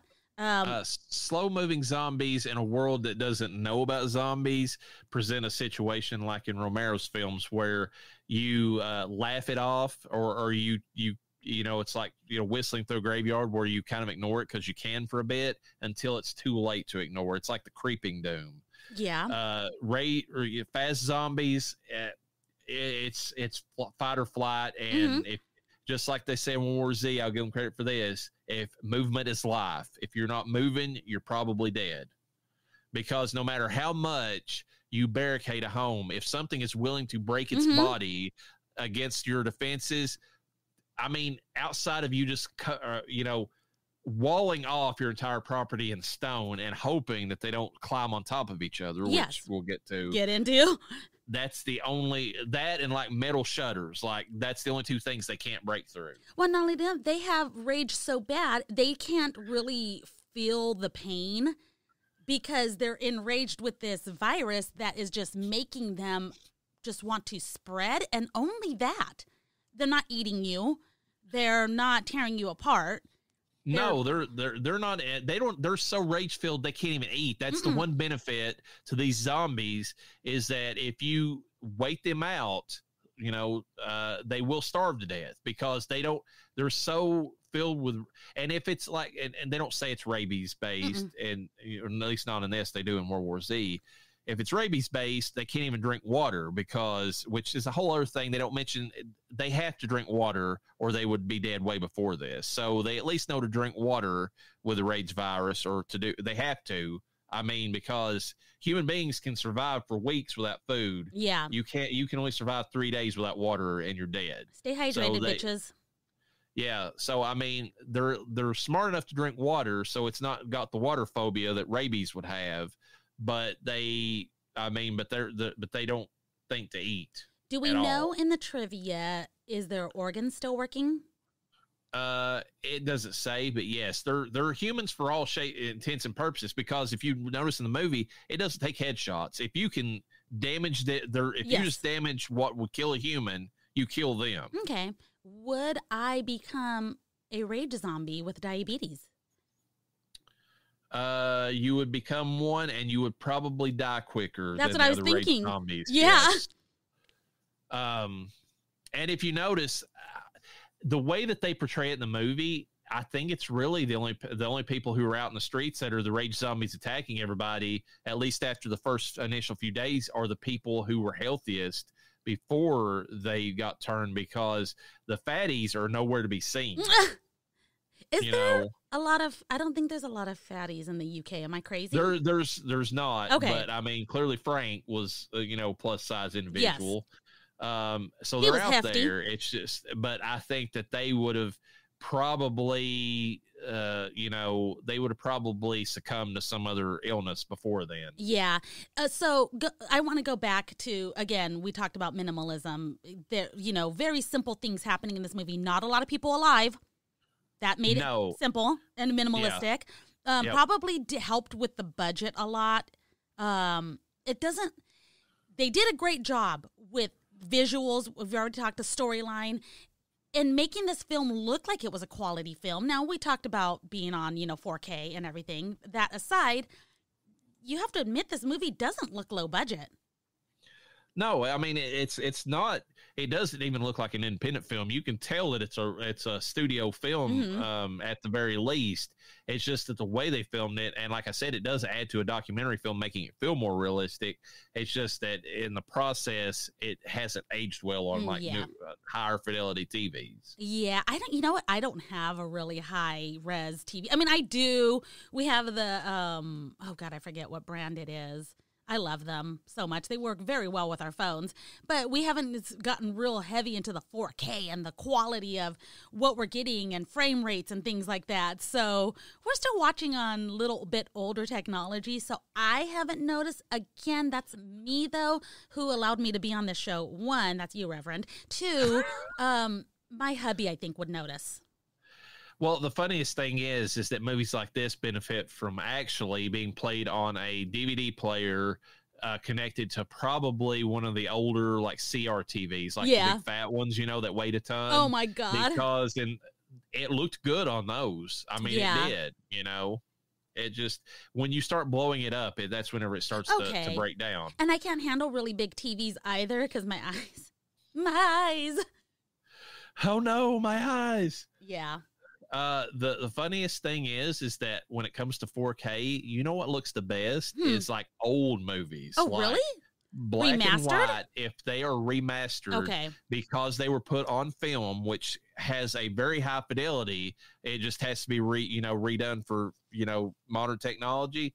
They look like, I mean, brand new movies. They look better than brand new movies. They there are some old 4K movies of like, you know, even like say Frankenstein, Dracula, and all them. They look better in, in a lot of ways than like the newest Marvel movies do because they actually downgrade the image in those Marvel movies uh, through their filming process to where it's like 2K and then they blow it back up to 4K and you can tell the difference. Whereas the old movies are straight film that have been remastered from the negative and they look perfect. Yeah. You know, it's insane. But, anyways, this movie looks terrible because it was filmed on a 16 millimeter camera, uh, or actually, it's filmed on a mini DV camera, then reprocessed on 16 millimeter. so, in theory, since it was on film, they could make it look some better, but it's never going to be a looker. It, it just isn't. It hasn't bothered me yet. I'm not saying that it doesn't bother people. I'm just glad I haven't noticed it. So, um, Uh, other than that, though, everything top notch. Are we ready to move into acting? Yeah. Okay. Uh, Cillian Murphy Killed it. Uh, yeah. There's a reason why he is, you know, went on to do so many other things. And I mean, he is uh, just, he's very understated as Jim. There's a, there's not a lot of speaking parts, but Mm-mm. his, his visual and he's funny. And I think we've mentioned this before about him. He's one of the few men that has RBF. Oh He yeah, straight up has it, but like it works for Jim. Like it, it. You imagine a character in his situation, he's going to have RBF like all the time. You know. yeah. He has RBF, but he doesn't look like he's a mean person. Yeah. Well, that's the thing. I don't know how doesn't- he he, he looks off. like he's a nice, caring person, but he's got the look on his face like I'm introverted. Don't talk to me. Like he's got that look about him. You know. Do you think his nickname should be "Killing It Murphy"? Because I feel like that's what he does in all of his films. He really does. I mean, he uh, like uh, he is so good in Oppenheimer. It was, I mean, I think he got the the win for that, but he deserved it because he does a really good job acting in that. His face Um, is so funny. I just want to see real quick um, for Cillian. the funniest stuff for him is when he's doing interviews because if he's not being directly like question like if he has like another person from the movie beside him and they're talking, the look on his face is like, "Kill me, kill me with fire, and put me out of my misery." That's so funny. um, I want to see. Okay, um, I want his early life. Okay, early life and education. He was born. Okay, I don't want to know when he was born. His grandparents was raised Catholic. Big shocker. He's Irish. Um, he was not in sports. Uh, let me see. He was raised Catholic. Shut up, insulin pump. I know I'm low in sugar. I'm better now. I ate. I ate sugar. Um, let me see.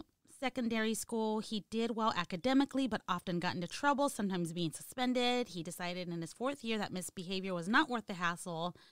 Um, and then he was a major part of the school's curriculum where he found artistic pursuits, assuming acting and drama. Uh, he got his first taste of performing in secondary school. I don't know what secondary school is, if that's like middle school. Really? I, I don't I don't know. He said secondary school. I don't know because for out oh, second, here, secondary school for them is high school, I Okay. believe. I think that's what they call it. so yeah. he was in drama. Um, okay, late teens and early twenties. He sang and played the guitar. Uh, let me see. I just want to see how he got into acting. He began studying later at University College Cork in 1996, but failed his first year exams because he has no ambition to do it. Uh, let me see. After seeing Cor Cor Corca- Corda Corcas Cor Dorcas, what the hell? I don't know what I'm saying. A stage production of A Clockwork Orange, directed by Kiernan. I don't know who that is. He began directing his attention to acting. His first major role was in the UCC Drama Society's amateur production, Observe the Sons. Okay, so that's this is all like just stage acting. So that's probably how he did it. He probably started out in the stage, and then like he probably some director, maybe Danny Boyle, who for Sunshine was like, "Hey, that guy's pretty good in that. Let me cast him in a movie." Now, that being said, what makes Cillian a good actor. He was interested in in high school. A lot of people do high school drama and then sometimes they go on to college, etc. It doesn't look like he did any college acting. I'm I haven't read further into his bio, but it doesn't look like he did. So somebody picked him up and said he's a good actor. Is it something that's natural? Is it his face? Is it his is it high school? Did that like like what do we think that it is? Is he really a good actor or is it just something about his posture and how he holds himself?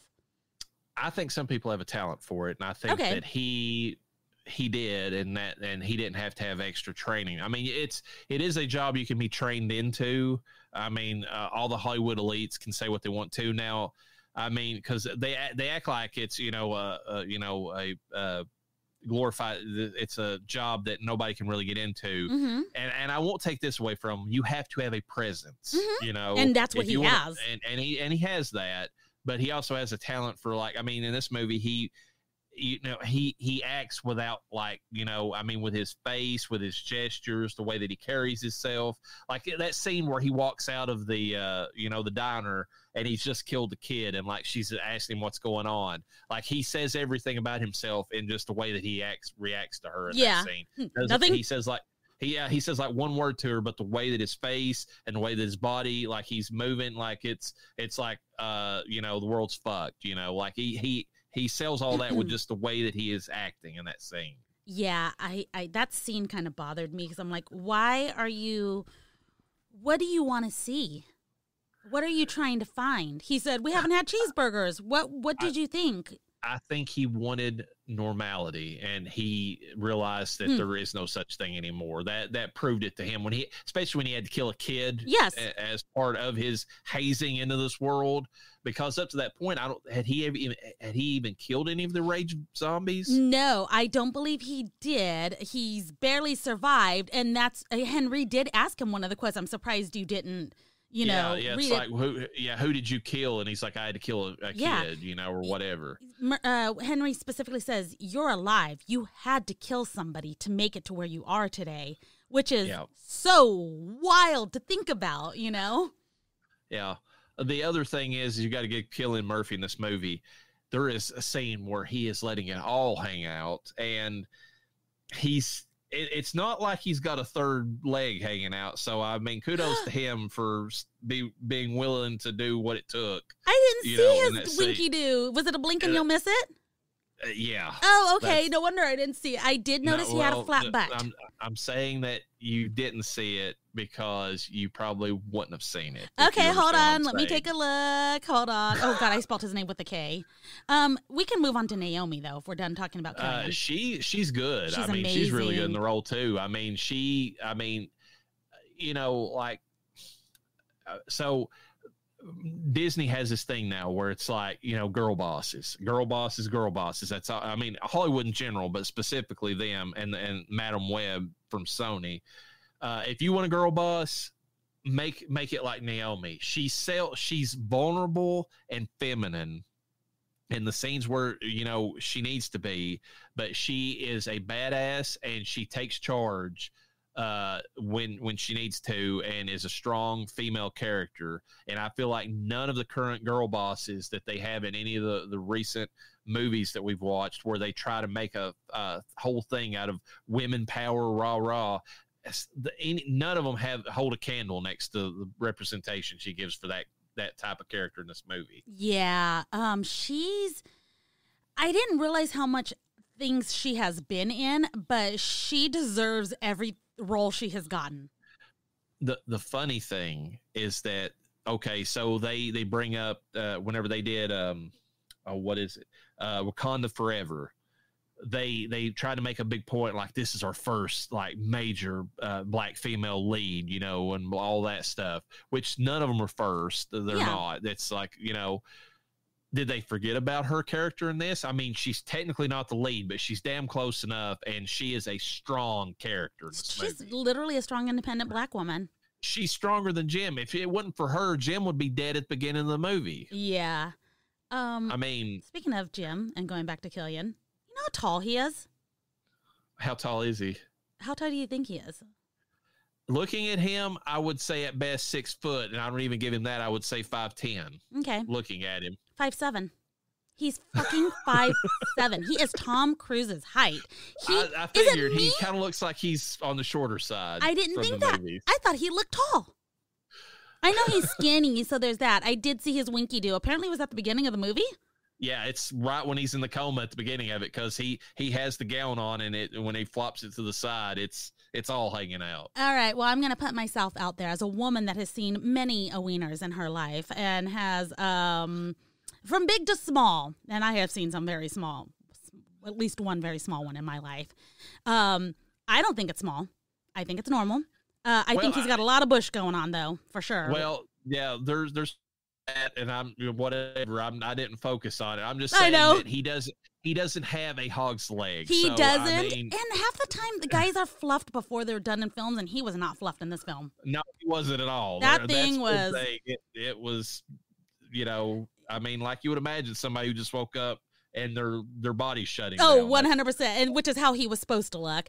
Um, look at ladies, uh, the guys you see in films that look like they're they got a little bit of a hog. They're right and tight because they were fluffed. Uh, Cillian in this movie, he has been left hang- left and loose, okay, to say the least. So.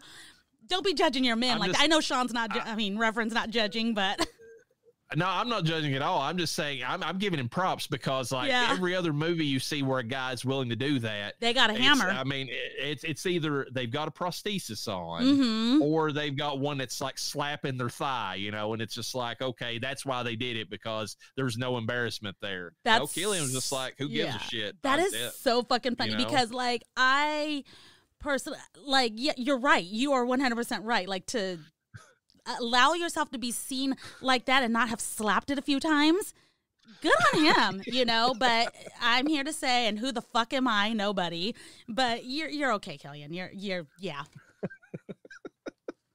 um Hannah is probably the weakest in the movie, but Yes. she doesn't have as much to do. No, she doesn't. And they try to give her, but I think it serves her because she's a kid that's having to grow up in this fucked up situation.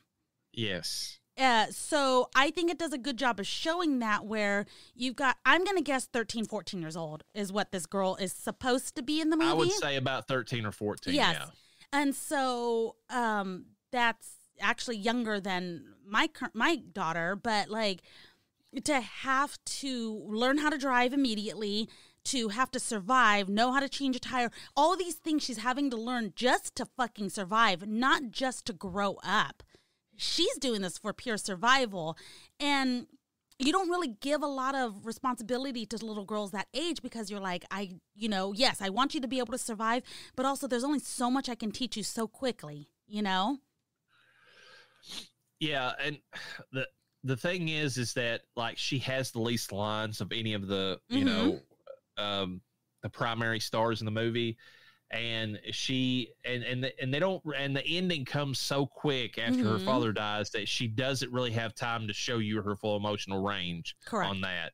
They could have maybe cut to her a little bit more and emphasized that, but at the same time, did the movie need that? And would it have just kind of been like, why are you showing me this little girl crying about her dad when literally they're talking about raping her in the next room over? Yes. You know, it's like uh, they had, I mean, it's one of those things where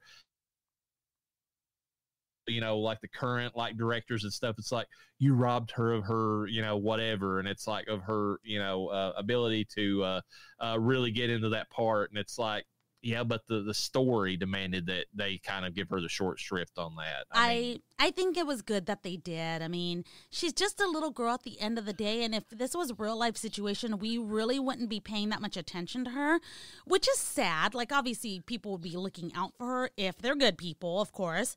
Um, yeah to a degree, but also she'd really have to do a lot to kind of prove herself in the adult situation. Adults always are like, I got this, you know. Uh, rare is it that a teenager that age is like, I've got this, and then you're like, oh, okay, well, she can hold her own. We're gonna be fine, you know.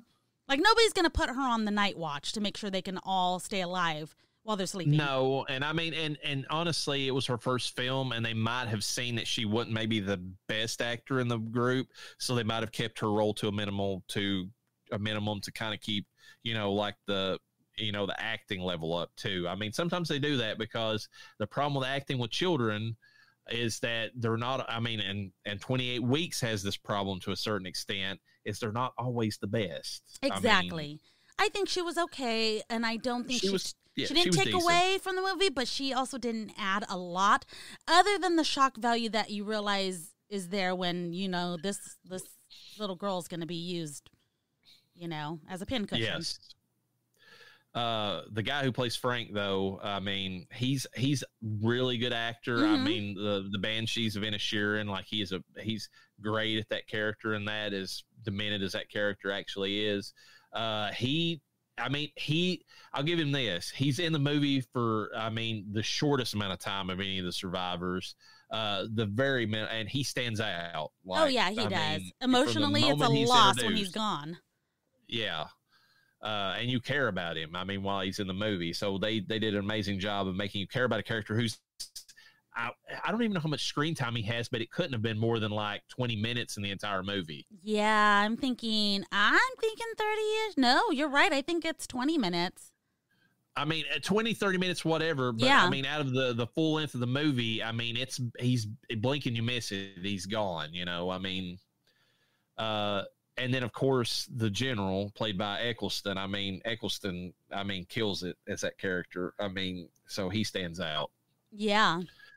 and then the music which i think we talked about you were going to you know put in there that theme song for 28 days later and then they play it again in 28 i mean they it's in the trivia they use that song and other stuff now because it is so good like That's- it has that it has that drive to it that just gives you like that terrible i mean like you, you when it plays you're like okay the world's ending like this is what this music makes me feel like and that's what it's supposed to make you feel So much dread when you hear that song. And imagine watching a film and you hear that and you're like, uh uh. Uh yeah it, What's coming? it- 28 days conveys- later. it conveys that emotion whatever that emotion is it, i guess dread it's just like it, it's just like you know that the shit's about to hit the fan anytime that music plays Yeah, I feel like ultimate dread is what I'm what I'm hearing or feeling when I hear that song. uh, uh, i would call it black pill because when that song kicks in it's like you feel like you just swallowed the black pill and it's and you're just waiting for the everything to, to kick over I don't like it. All right, let's get into some trivia about this one. Uh, the film was shot almost entirely in sequence. Only pickups and a few reshoots were out of sequence. Another movie this season where they just like uh, Snyder's Dawn of the Dead, where if at the beginning of the movie is when they filmed it. I, know? I I I like that, and I know we've discussed the reasons why they have to do it the other way or whatnot, but I don't know. I I, I prefer it, and it worked out really good. Yeah, I mean it. It doesn't hurt if you can do it that way. It's just some movies, if especially if they rely on a lot, a lot of uh, outside scenes, or if they've got like, like we've said on previous podcasts, if they've got like contracts, you're filming in New York on these days, they can't get out of them. They've already signed. them. Yeah, So if it's the end of the movie, even though they've not started the principal photography photography on the beginning of the movie, they they still got to shoot the end of the movie because that's what they got. That's the window. which is uh, probably why they were like, let's get some unknown names in here, so we don't have to worry about schedule conflicts. well schedule conflicts but and i and i've got in the trivia about how they got around filming this but that's part of the reason why they filmed it with those little digital cameras is because they actually shut down the streets of london and some other places in, in very populated places in england to film this and they only had windows of like Yeah. maybe you know like hours at, at most and so they actually had the local police filming for them with like you know the cameras you God know, help them damn. out um this doesn't shouldn't surprise anybody. Athletes were cast as the infected because of how important physicality is to them. Danny Boyle felt that since athletes can do things that other people can't, they would be interesting uh, when w- translating the movements of the infected. So that's the reason his zombies are uh, basically Olympiads because they are the best of the best when it comes to like cardio and like their physical bodies being tuned up and ready for running and all that. I don't like it. uh yeah when you're out and you see somebody doing the daily run in the morning that's the guy that you better be ready to put a bullet into when the zombie apocalypse yeah. started because that motherfucker's going to get you. That's not that's not a bad like I I'm gonna see them I'm like I always fucking hated you anyways.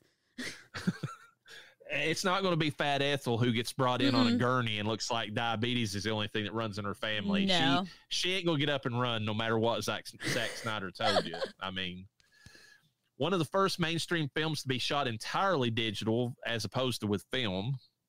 That's another reason why it's going to look bad when they blow it up because digital. You would think that digital would be easier to convert, but it's not necessarily the case. It really isn't. I just feel like trying to fix the low quality, it would take so much patching and that it's impossible, which is again, like you said, probably why we don't have this on any physical media anymore recently. And I think I think that's the reason it's been so long getting it because they have to digitally remaster it to get it up to even DVD quality, not or I mean Blu-ray, not Oh, even yeah. counting 4K. Leave 4K out of it. Just 1080p is going to be a stretch to get them get it up to that. Yeah. Uh, the hospital in the film is a real day hospital, open only during the week. The trust managers of the hospital hired out the building to the filmmakers for the weekends, and the productions paid the hospital directly, meaning the money from the filming went directly to the hospital's trust fund. Wow, interesting. And how how weird. We're only You know how- open yeah, I, during the week, I thought the same thing. I'm like, you know, hospitals in the U.S. only exist for after hours. uh, Or I mean, you can get, I mean, emergencies any time of the day, but they Yeah. primarily see when doctors are not in. You know, like Yeah. weekends and after hours. Just it's strange to think about. They shut down their hospitals on the weekend. Yeah, and I've heard how other countries it's like if you're going to have an emergency, try to not have it on the weekend because they still have areas where they shut down and I'm like, I I am all for that. Don't get me wrong. You know, and I know there's places you can go if there's a real emergency. Obviously, this isn't the only hospital, but I do like that. Like try not to be a fucking idiot on the weekends. Enjoy your Well, it ma- weekend. It makes sense for a country hospital that's just like a small community. Mhm. um because we we do have some of those around here where they might not be open you know as Yes. long because the bigger city might have one and it's like a triage thing it's like you know if you can't go there 30 minutes up the road and you know go to the the big one you know or whatever it is. Exactly. uh ewan mcgregor was actually the original choice to play jim but he and director danny boyle had a falling out at the time over the beach from 2000 in which mcgregor was supposed to play the lead until he was replaced by leonardo dicaprio but they have since reconciled. Uh, after that, uh, didn't work out. The role was offered Ryan Gosling, who had a scheduling conflict. Um, no, no, no to both of them. I'm sorry. I like Ewan McGregor. I like Ryan Gosling, but it's a no from me. You, couldn't You have know done. what's a weird? You know what's a weird, hilarious twist of fate? huh? Ryan Gosling and Cillian Murphy Oh, were yeah. both opposite each other at the same time in the theaters with Oppenheimer and, and Barbie. And Barbie. And- so not Death Holler related, but I am loving all the. Uh, all the stuff that is surrounding Ryan Gosling in terms of being Ken, and he's like, "This is a movie about the women. Quit making it about me." But everyone still loves everything about Ken, and relate. All the women are relating to Ken because he's the one that's kind of being overlooked and everything. he's the he's the abused one in the relationship and the yes. fact and people made a big comment about how he sings uh that that uh uh whatever it- I'm just Ken. what no not i'm just ken the uh matchstick 20 or what what's is that the name of the band uh anyways the Matchbox you 20. know if Matchbox 20. That's why I was blanking on their name. If I want to push you around, I will. They were talking about how that's like a song, uh, you know, him being misogynistic. No, the song, if you listen to how Rob actually sung it originally, is about him being abused, by his girlfriend. Yes. And now Ken is singing the same thing about Barbie. Yes. And it's so funny because it's like everyone talks about representation and and in this movie ironically Ken ended up being the one representing women more which I have not seen the film so I can't, I can't relate but this is from that, what people are just telling makes me. you that just makes you realize that the filmmaker Greta Gerwig, I mean, she's she's don't I mean she's good. Yes. The other stuff, she fucking failed in Barbie because she made Ken more likable. Yes, she did. And that's the thing is like representation is not a bad thing in films. I think that there does need to be a representation to a degree, and I heard that Barbie did an okay job at that. Again, haven't watched it, but that being said, when everyone's like, we need to have all this representation for one group or one small minority or blah blah blah because they need they they probably don't because emotionally you can be representative re- represented excuse me. And it just this that i think that just goes to show. You can see yourself that's the thing that modern cinema has completely forgotten and i hate about the current like gen z you know notion of this. You can see yourself in people who are not you. They don't have to look like you i, I don't know how many characters that i've seen him like uh, I mean, I know this is still a white man, but like there are aspects of Andy Dufresne that you know, and like the Shawshank Redemption. I've never been to prison. Yeah, I've never you know had to you know think about killing somebody that was you know fucking my wife. But like there are moments that he goes through in that movie that uh, most people can relate to, especially the friendship between him and Morgan Freeman.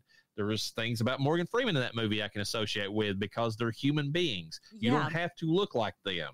Um, and like you know these people are all the time it's like no if i'm a you know black lesbian trans woman in a wheelchair i gotta have that in the movie. That just means you're a narcissist and you don't really you can't empath- empathize with other people. Yeah. I mean that's really what it means. I mean um but it's it's it's funny that ken uh, uh, just going back to ryan gosling is the the person in that movie that is most recognized or i mean that women are seeing themselves in more than actually barbie herself. Oh yeah. I i i found it to be completely hilarious. And i'm like go figure you know and and it's the character that if guys watch the movie and actually care about any of it he's the fu- he's the funny one in the movie he's the one that makes it you know tolerable i'll say that as somebody who's seen it yeah I mean, every scene with America Ferrera in that movie is unbearable because she is the Latina who has been shit upon by white male society. And she even has a speech at the end of it about how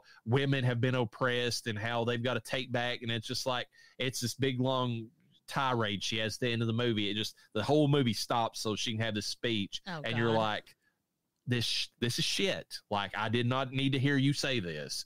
I mean, if the movie did its job, I would feel for you and and you wouldn't have to say those words. Like this movie, like we said, I feel for Selena. I get the idea that she's been through some shit before she saw Jim and that's hardened her as a person and he brings her out of it by the end of the movie and that's that's human. That's that's a It- human thing. yes that's a human thing i couldn't have said it better myself because she she was I was like, man, is this one going to be able? Are we going to be able to crack this one a little bit? But I really, she needed that because for the longest time, well, she had that, uh, you know, other partner, for instance. I wouldn't say partner; it was just another person that was alive. I mean, correct me if I'm wrong.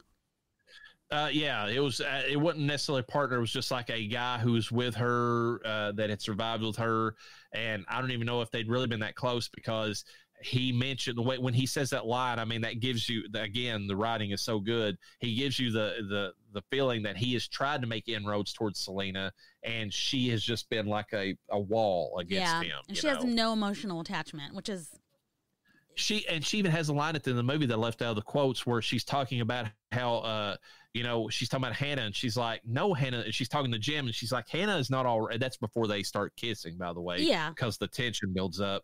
But she's like hannah is not okay. We're not okay. Frank was part of our new family and he's gone now. So everything that we thought was everything about our new life that was going good is gone Yeah. you know?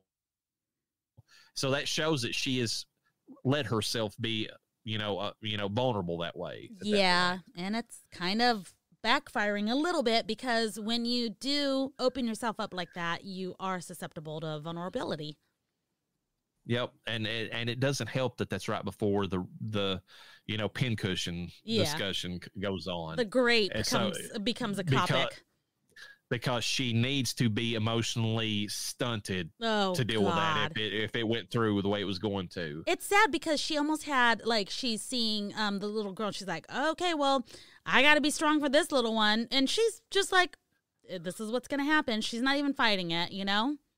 yeah, she she knows that if she wails and, and screams at the you know at the walls and the rafters, it's just gonna make things worse for Hannah. It's just gonna scare her more. So she has Yeah. to put, even though she knows that her own body's gonna be you know torn apart by this, she's got to put on a brave face so that the little girl has some you know some composure. About yeah.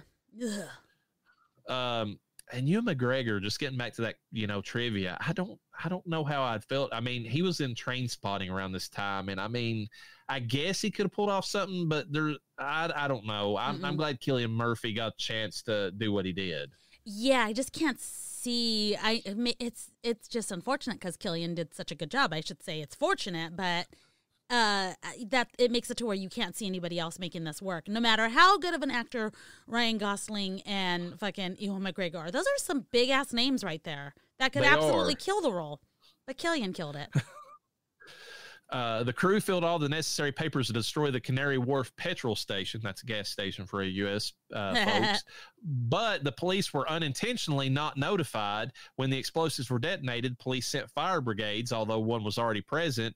And Danny Boyle resolved the matter after several hours. It cost two hundred fifty thousand pounds total to film that. That's pretty low. But like, how do you?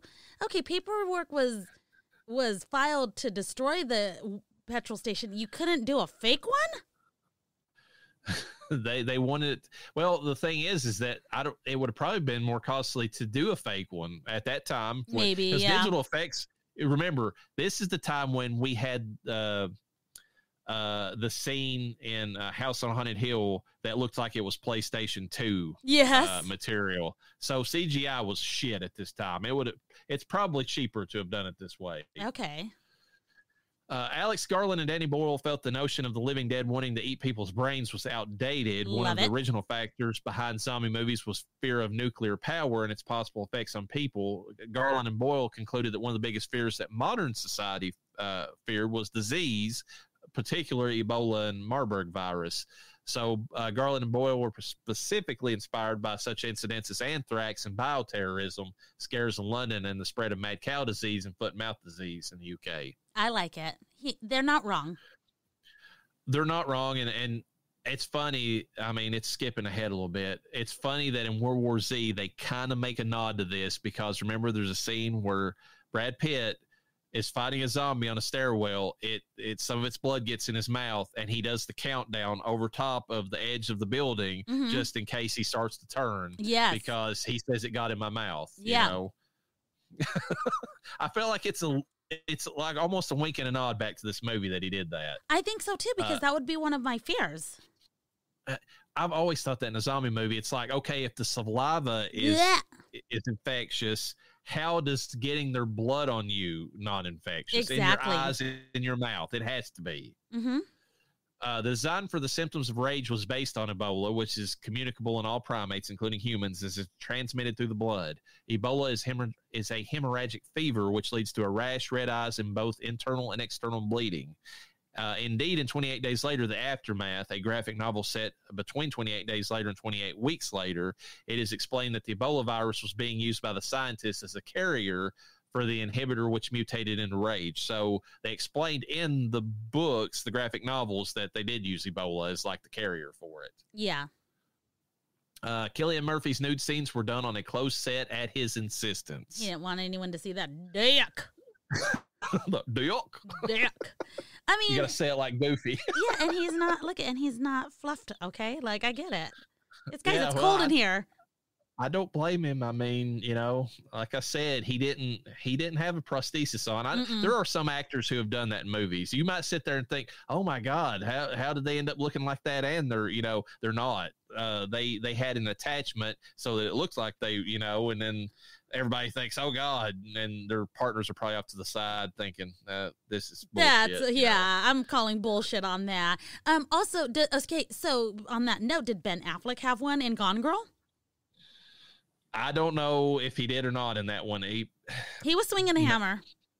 probably. Everyone's like, "Ooh, Jennifer Garner, ooh, girl," and it's like, what in the world makes you think that any tiny woman finds that like even remotely comfortable? Uh, there's there's some out there. I mean, they uh, you know, I, I guess they work their way women. up to it. Unless they're big I white don't know women. why. I don't know why you want to feel like you're having birth every time you go to have Thank you. to do it, but Thank you. Anyways, yeah, uh, that that just brought that up because I'm like, well, Cillian Murphy looks what I would consider to be normal. I wouldn't say small, but I also wouldn't say big. You know, Uh, Ben Affleck, like I said, was swinging a hammer, and I'm like, mm, I don't know. I got questions now, and I ain't going near there's that. there- there's pro- yeah, there's probably answers, but if you Google that, then your Google's gonna be fucked for a good long exactly. I'm gonna start getting all kinds of celebrity wieners, and I'm so good. Uh, the extras who played the dead bodies in the church were college students who volunteered to appear in the film. Oh hell yeah, dude! Could you imagine? Could you like not even? We're not even college students. Because could you be like somebody called us and like, hey, Death Holler, we have a role. Like we want to put this movie. We're not paying you, but you get to be in a scary movie, and you guys can review it. Blah blah blah, or we'll let you go to the premiere. We would be like, hell yeah. Yeah, I feel like I would. do- listen, I while you were on your break, I saw that uh, somebody said that the Rotten Tomatoes score currently for uh, uh, Late Night with the Devil is at 100. percent Oh, Uh, we have said numerous times we wish to God they would have gave us the option to screen that because. We would have put out a podcast about it. oh I mean, yeah. Definitely. It's in theaters. It's not in theaters nearby. Or I guess it's going to be out in theaters. Or how are people seeing Uh, it? Because I thought, they're getting screeners because that the oh. because the the one goth chick that that we both shared on there, Oriana Nicole or whatever, that's Uh-huh. you know the one that talked about 28 days later and not being on you know any or anything but physical media. hmm She got a screener for Late Night with the Devil. She's seen it, and I'm just like, I'm jealous of you. I'm really Yeah. jealous you got to watch this. Well, I would say we need to post to our TikTok a little more, but we don't know what's happening with that. So, yeah, thanks to our politicians who are looking out for our best interest. quotation they, marks. They, they they don't care if we have affordable health care or anything that really matters, but they will shut down the Tiki Talk. So good for them. yeah. Uh, Alex Garland and Danny Boyle did a great job or a great deal of research into social unrest, drawing ideas from the things that had happened in Rwanda and Sierra Leone, such as the piling of bodies inside churches. Yes. That explains why there's dead bodies in the church, but drew the line at using any actual footage from such incidents in the opening montage. All footage featuring dead bodies, desecration of bodies was faked. oh, fuck, son of a bitch. Because I, me and you know, I was talking to Noah and I was like, Beb, do you think, because what movie was it where it was real footage? Was it Dawn of the Dead? Night of the Living Dead? You said, Yeah, Dawn of the Dead, Zack Snyder. Yeah, Dawn of the Dead was Zack Snyder when that truck runs into the crowd. That was a real scene from. a- Yeah. from- didn't you the say there were other scenes though too, where like uh social, just fucking whatever was going on. I think on, everything in Dawn of the Dead was was real news footage. Okay, like in, and in that movie. So when I saw this, I'm like, oh, that'll be sick. Is this real? Like, this looks like it could be real. And the hubby thought it was. And, oh, this is a fucking disappointment. Uh, the shot where Jim sees the dead mother holding onto her dead baby is based on a photograph Danny Boyle saw of a mass of Kurd bodies after they had been gassed. No shit. Um, the scene where Jim finds the money on the steps and picks it up was based on a photograph that he had seen of Cambodia after Pol Pot had been driven out. Uh, the shot of the notice board at Piccadilly Circus with the missing person flyers caused some controversy when the film was first released because some said it was insensitive to what happened in New York. Because remember, folks, this was released right after 9 11. And there was a lot of people with missing persons posters because of what happened at 9 11. The film was shot prior to 9 11, although it was released afterward. Um, and Danny Boyle said that, uh, and I'll get to this in a second. There's controversy on this statement. Danny Boyle said that he uh, based the shot on a photograph he saw of an earthquake in China. He said that if he'd made the movie after 9 11 attacks, he, w- he wouldn't have shot that scene. But here's the thing there is a lot of conflicting information about whether he shot this before or after. In fact, he's done, he did both. The scene in particular that he shot, because remember, he shot it in sequence, was before 9 11, but he finished the movie after 9 11. So should he have kept it in? yeah. this many years later, yes. Yes. Uh, at the time, I, I mean, I'm never one to censor or say censor, Mhm. and I and I think he should have kept it in. But if I think his excuse of saying, "Well, it was I, I wouldn't have filmed it," is kind of bullshit because Yeah. he it was still he he could have edited it, you know, out of the movie at that point if he really wanted to. I mean, I think that it's un- clearly we are not okay with the events that happened with 9-11 that aside what he had in his movie with the missing people's pictures and stuff like that that was real that would have been Uh, something that happened Uh, obviously, I mean, it was based on an earthquake. You know, it's a thing that humans do. So, Yes. I mean, if you watch it now and you're not in the moment of 9/11, I don't think of 9/11 watching that part of the movie. I Mm-mm. think I would have up missing persons if my daughter, wife, whatever, had went out during the initial attacks and hadn't came back home. I would have put those up. You and know, we were young adults when 9-11 happened real young adults like maybe barely adults when 9-11 I happened was I was the first semester of my undergrad, I think, Mhm. whenever or uh, maybe second semester when it happened. 'cause it yeah was- I started in the spring, and then it was that following September. So yeah, it was my second semester in college. I think I had just turned 20, so not to age myself, but it is what it is, you know. Um that being said, you know, you we there's no way that he intended it to be like that, but I do want to say one thing in relation to the pictures, but not related to the discussion of it being related to 9/11 or not. The kid in that photo, was that the kid that was in the cafe in the hamburger place, the cheeseburger stand? it very well could have been. I'm not even. I didn't pay attention to that, but I mean, it would have made total sense if it had been. It yes. just popped up into my head right now because I got a good look at the kid and then I saw the kid in that picture and or I remember the kid in the picture and I'm like, "Holy shit, was that the same kid?" Uh, so the scene where Jim and Selena celebrate with Frank and Hannah was shot actually on September 11th. Oh shit. And Danny and Danny Boyle said that it felt extremely strange to shoot a celebratory scene on this that day. That's know. wild. So the clarification is is even though he said that he would have altered it, he wouldn't have filmed it if he, he the, the the movie was mainly filmed before 9/11. Uh and it was filmed in sequence. It's a little bit disingenuous of him to say, you know, what it, how, that oh, I would have been in the movie if I you could have cut it out if you was really that concerned about it. Now, should it have been no. No, it adds to the movie. It's another bit of visual storytelling. When he sees that scene, you get the emotional impact that people were I mean, of the loss that people went through. It's a it's a quick, good visual. I mean, Yeah. in the movie. Um, it's just one of those things. It's like, you know, you know how that we've talked about there's been several movies that were well scream 3 for instance. Remember they cut uh, they changed the entire movie because they were going to have it to where stu was uh, recruiting teenagers to uh, you know do the scream killings and then or from prison.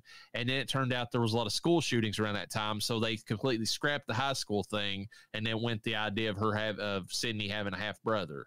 Um, so i mean it's one of those things where i you know real life does intercede on some of these movies and you might have had a better movie in retrospect if you'd stuck to your guns but if you'd released it at the time with that you know the world kind of with that you know in that state of pain it might not have went over too well Yeah. of depends uh, Danny Boyle intentionally sought out unknown and obscure actors for the majority of the leading roles as he wanted the film to be discovered and not rely solely on star power. Okay. Uh, they were all the main actors were virtually unknown outside of Frank. He'd been in quite a bit of stuff, but yeah. with Murphy and Huntley uh, having only had minor roles in films.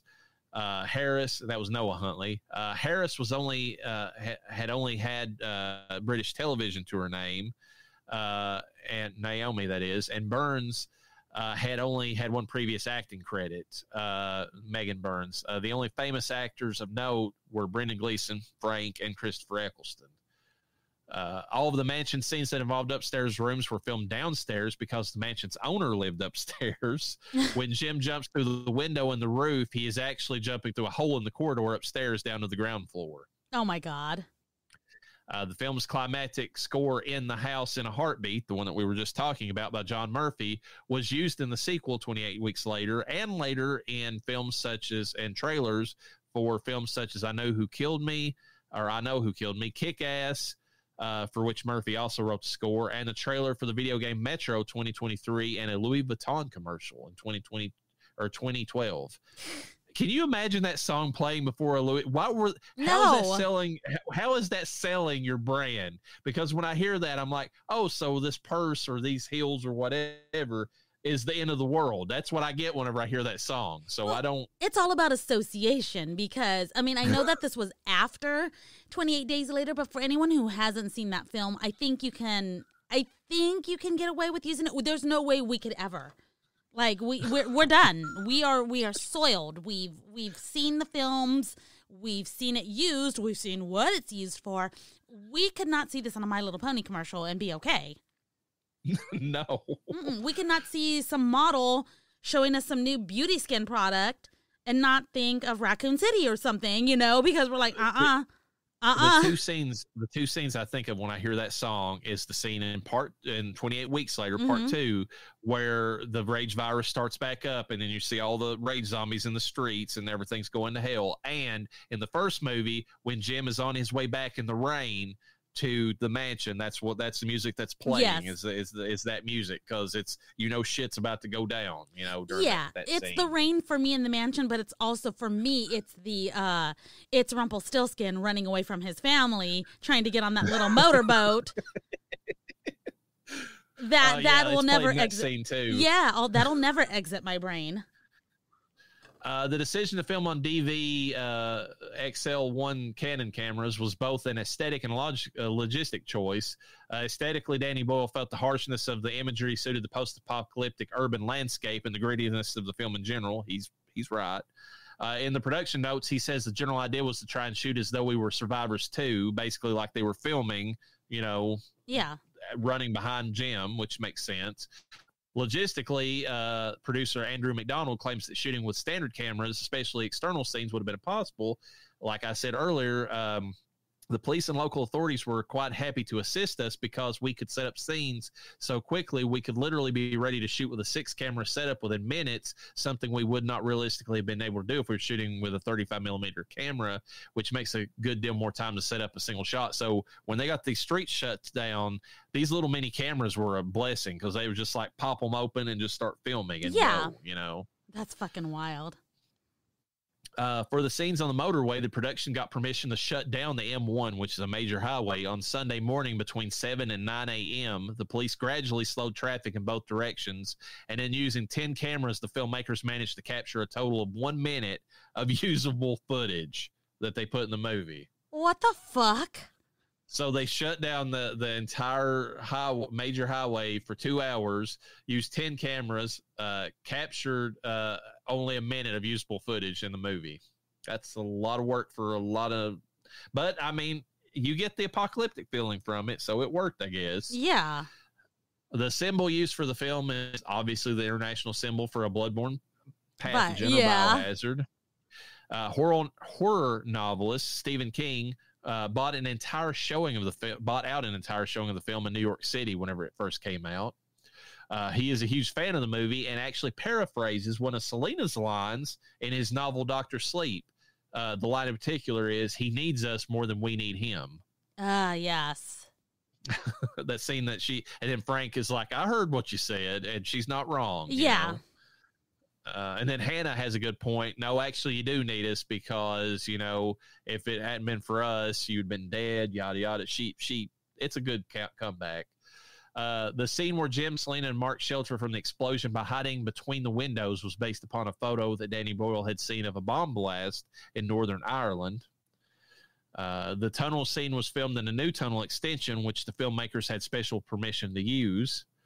Uh, it took two days to film that, by the way, the whole entire sequence in the tunnel. That seems excessive, but uh, Yeah. they had to set up a lot. Yeah, but god damn it it's so it feels so fast it doesn't feel like there's any way 2 days and the lighting makes it look like it's the same time. Oh, damn. yeah. But Uh, there the was Bible- a lot of scenes of zombies. Like that had to be the longest motherfucking tunnel in the world because they changed a whole motherfucking tire. Now, I know this girl did it in record time. I'm not ever going to take that away from Hannah. But like, how many scenes did we get of zombies jumping over the cars and shit? You could see their Oh. their shadows against the wall, and it's the same scenes over and over. It feels like. it's the funniest thing because that scene reminds me of one thing in particular from Monty Python and the Holy Grail. There's a scene in the movie where there's two guys standing at a castle, and uh, Sir uh, Lancelot, I believe it is, uh, is running toward the castle, and he and then they and it cuts to them. And it cuts back to him, and he's in the same place every time that it cuts back. Like, Yeah. he's not moved forward at all. Yeah, And all of a sudden, after they've done this like five times, then he's immediately in front of them and he cuts their throats. Okay, I'm And glad you said something. It's just like this movie because literally you're looking, and every time it cuts to the zombies, it's like, shouldn't they be like over top of the bit? No, they're not there yet. Yeah. Okay, now they're over the vehicles, but isn't that right beside? No, apparently not. And and Mm-mm. it's just like, how, how far away were these fuckers? You know, Exactly. How long is this tunnel? um, the Bible verse on Jim's postcard is from the book of Nahum. Uh, Nahum was a prophet who predicted the destruction of the great city of Nineveh, the capital of the Assyrian Empire. It was to be utterly destroyed as a punishment for its inhabitants' sins. Wow. That's pretty. It's pretty deep cut. Yeah. Pretty deep cut. Uh, the flashback scenes of Jim's parents when he's hallucinating in front of the refrigerator uh, were shot on Super 8 millimeter film. They they look really bad, blown up, but they're supposed to. Yes. They're, they're supposed to look that way. Uh, that is so crazy though that like he's sitting there and like the light, you know, is- Yes. is, like going off, and like that's what triggers the rage zombies to, to come after him. Yeah, which Uh, on top of the London, oh go ahead. go ahead. Oh nothing. I was just gonna was just going to start with the next one. Yeah, no, the, it's insane because obviously the zombies can't get to that sky high building that um, Hannah and Frank are in. But they have the Yeah. Christmas lights going off, which is obviously to attract other people and let them know, hey, we're alive, you know, if they're still alive in there.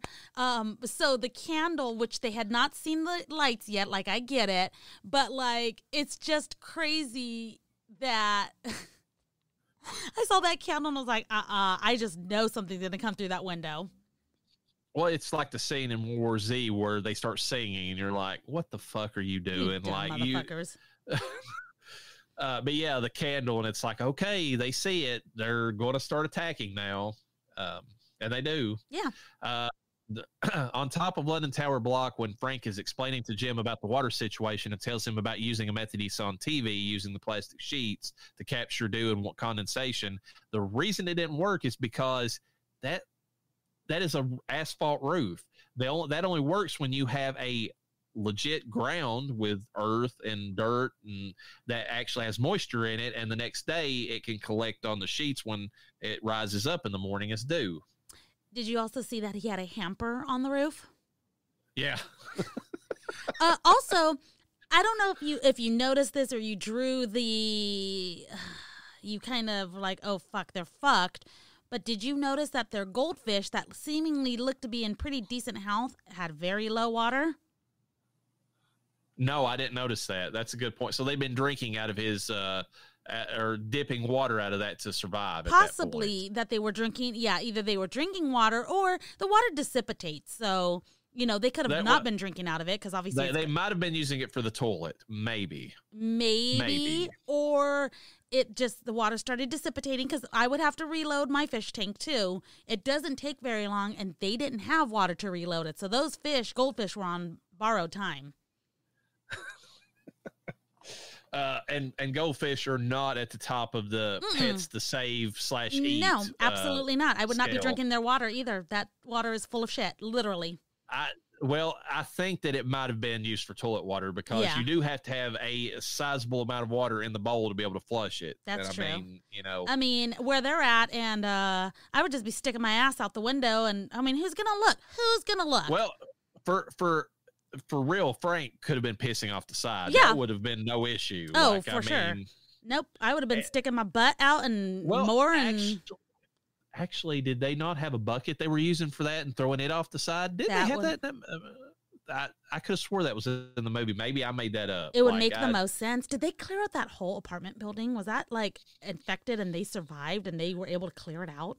They would have had to clear it out because Yeah. the infected would have came after them on a daily basis. I mean, One hundred uh, percent. You know, they still have the dead coming after them. there's probably a story in that if they ever want to expand it where Frank and, and a bunch of his neighbors probably held up for a while and then whenever they started falling one by one it, it, it was just him and Hannah at that point. Oh my god, that's fucking insane. Uh, although unconfirmed, the title may refer to the fact that peak immunity from a virus is widely considered to occur 28 days after the infection is contracted. Peak Pretty smart. immunity? Yeah, so your body builds up the antibodies and and and is able to fight off the infection after four weeks. That's how long it takes, you know. I like it. And 28 days is how long it takes for those zombies to die of starvation. So there you go. Yes, because the virus is keeping them alive. Again, I that's why I thought maybe it was kind of like a host situation. But then if it's if it's if you're recovering from it but you haven't ate anything or drank anything or whatnot, you're gonna fucking die. You didn't eat for almost a month. Well, I don't think there's any coming back from the virus. I mean, once they're infected, I'm just saying that they're linking it to the fact that the zombie virus will, or the rage virus will burn itself out in four weeks mm-hmm. because of, you know, other things what if in you your own body, you know. But what if you didn't do anything to make your body die other than not eat? Like, what if you had a rage zombie and it was chained down and you were, you had an IV and it was getting sugar. So it was technically Oh, getting it- nutrients. Oh, it would it would survive. I mean, Mm-hmm. there's nothing to keep it from from. I, but my argument is, is they they have to at least have the intelligence to be drinking water because they Okay. have to have water. Exactly. and and sitting there biting Uh, by that point there's not that many survivors to bite but even if they and they and they don't go out of their way to necessarily bite they scratch and vomit and they're vomiting blood like crazy too so they're losing a lot of fluid yes, a that's lot true. of fluid. A lot of electrolytes, everybody. so you would think with that much loss of electrolytes and fluid that they would have to be drinking water like crazy Yeah. which also if we go back to cabin fever which is a very smart movie in its own way you better be what fucking watching big time what water you're drinking in this reality because you're going to be getting the virus you're going to be getting that virus in that water Gross. um, when Jim and the members of the group in the taxi stop at a roadside diner on the way to Manchester and Jim is attacked by the infected, uh, that is the part where he says, I hate you, I hate you, uh, which is the only time that you ever hear one of the infected speak in the movie. Why they left that in, I don't know, but it's kind of cool. I like it. Um, I- think it makes sense. I think it's a kid that's that one. Obviously, we know what the rage virus is. I don't need if I need to explain that to you. You you shouldn't be here. But that being said, I think that the um. I- I don't. I can't tell if the kid is is he at the point where he's trying to get over the virus. So, like we said, that twenty eight day gestation period, if you will. That's not really what it is, but that's what I'm calling it. Or did he just recently get the virus, and that's him still? Because, um, what's his name? Frank could talk at the beginning when he was turning into a zombie. He was, yeah, he did for like a, a second or two. He was just like, get away, get away. And he starts Exactly. like twitching. And then, you know, Yeah. Uh, so two things. A, it's cool if that kid is on the missing thing, like you said. That very well could be. B, how cool would it be if that was the kid from the beginning of part two? I. do The it looks that- like him.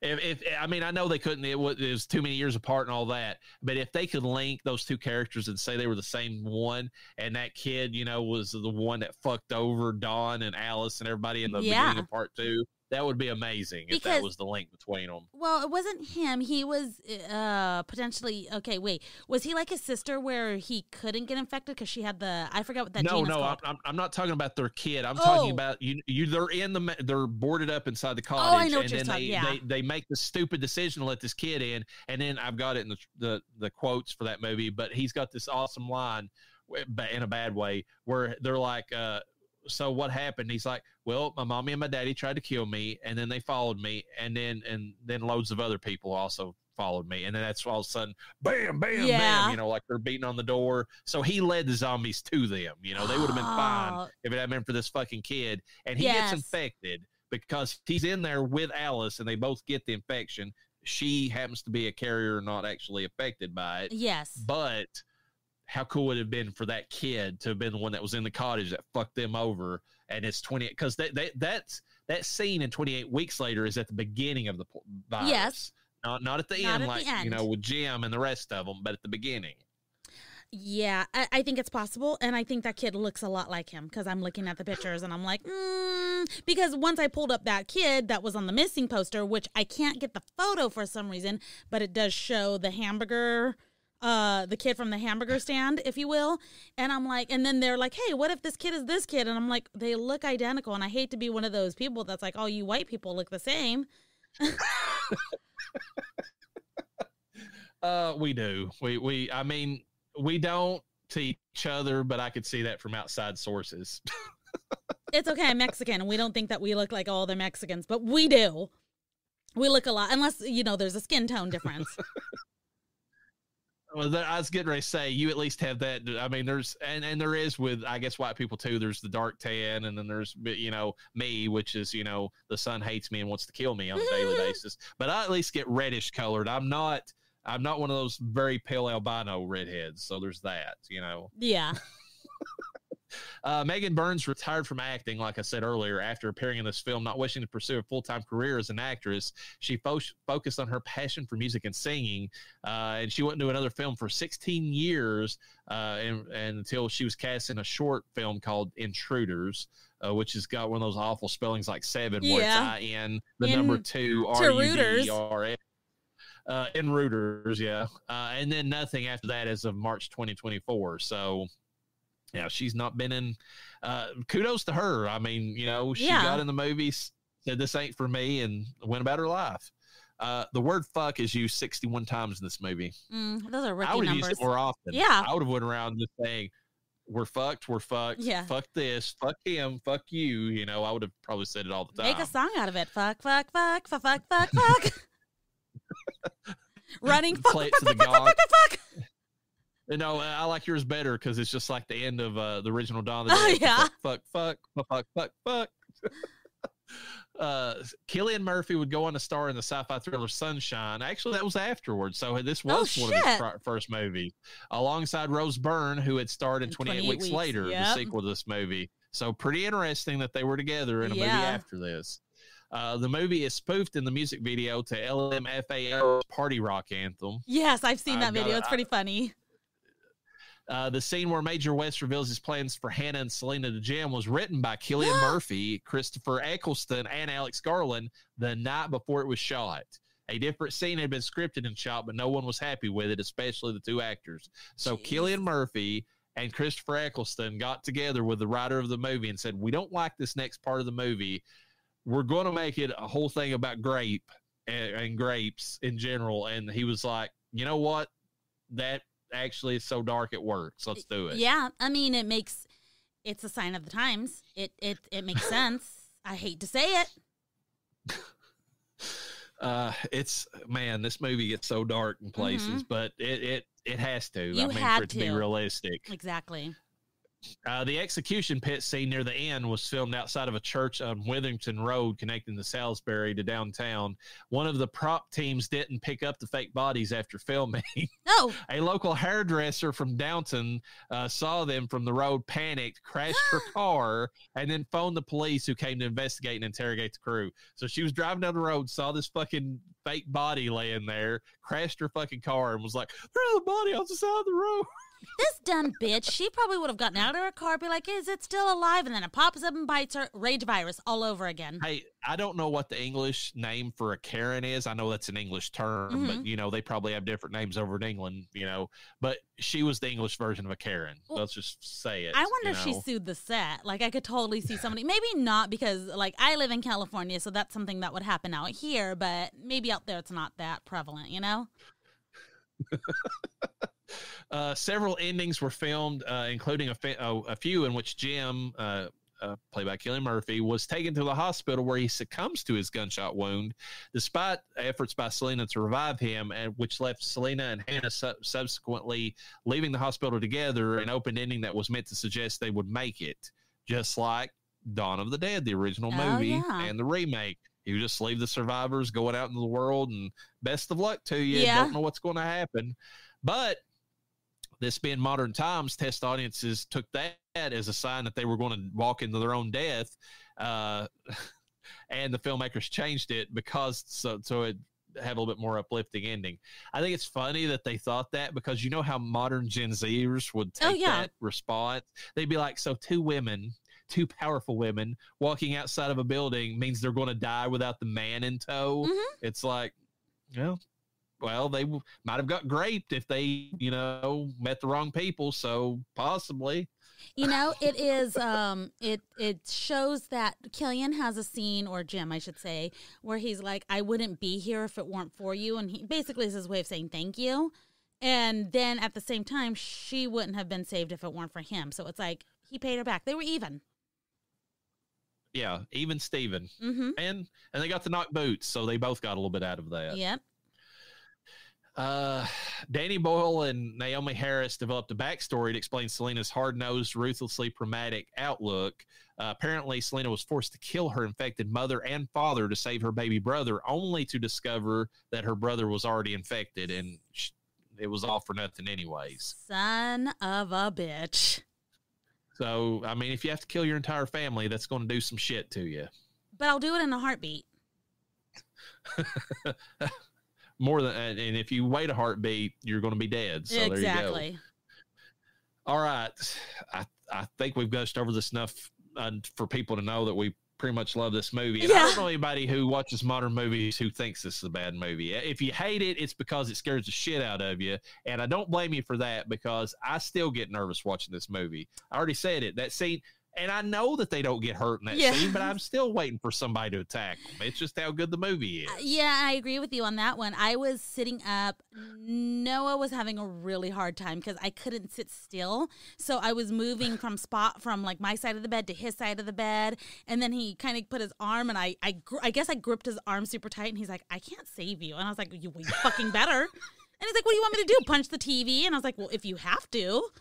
Like I don't turn the TV off. I don't know. I'm scared. What do you want me to do?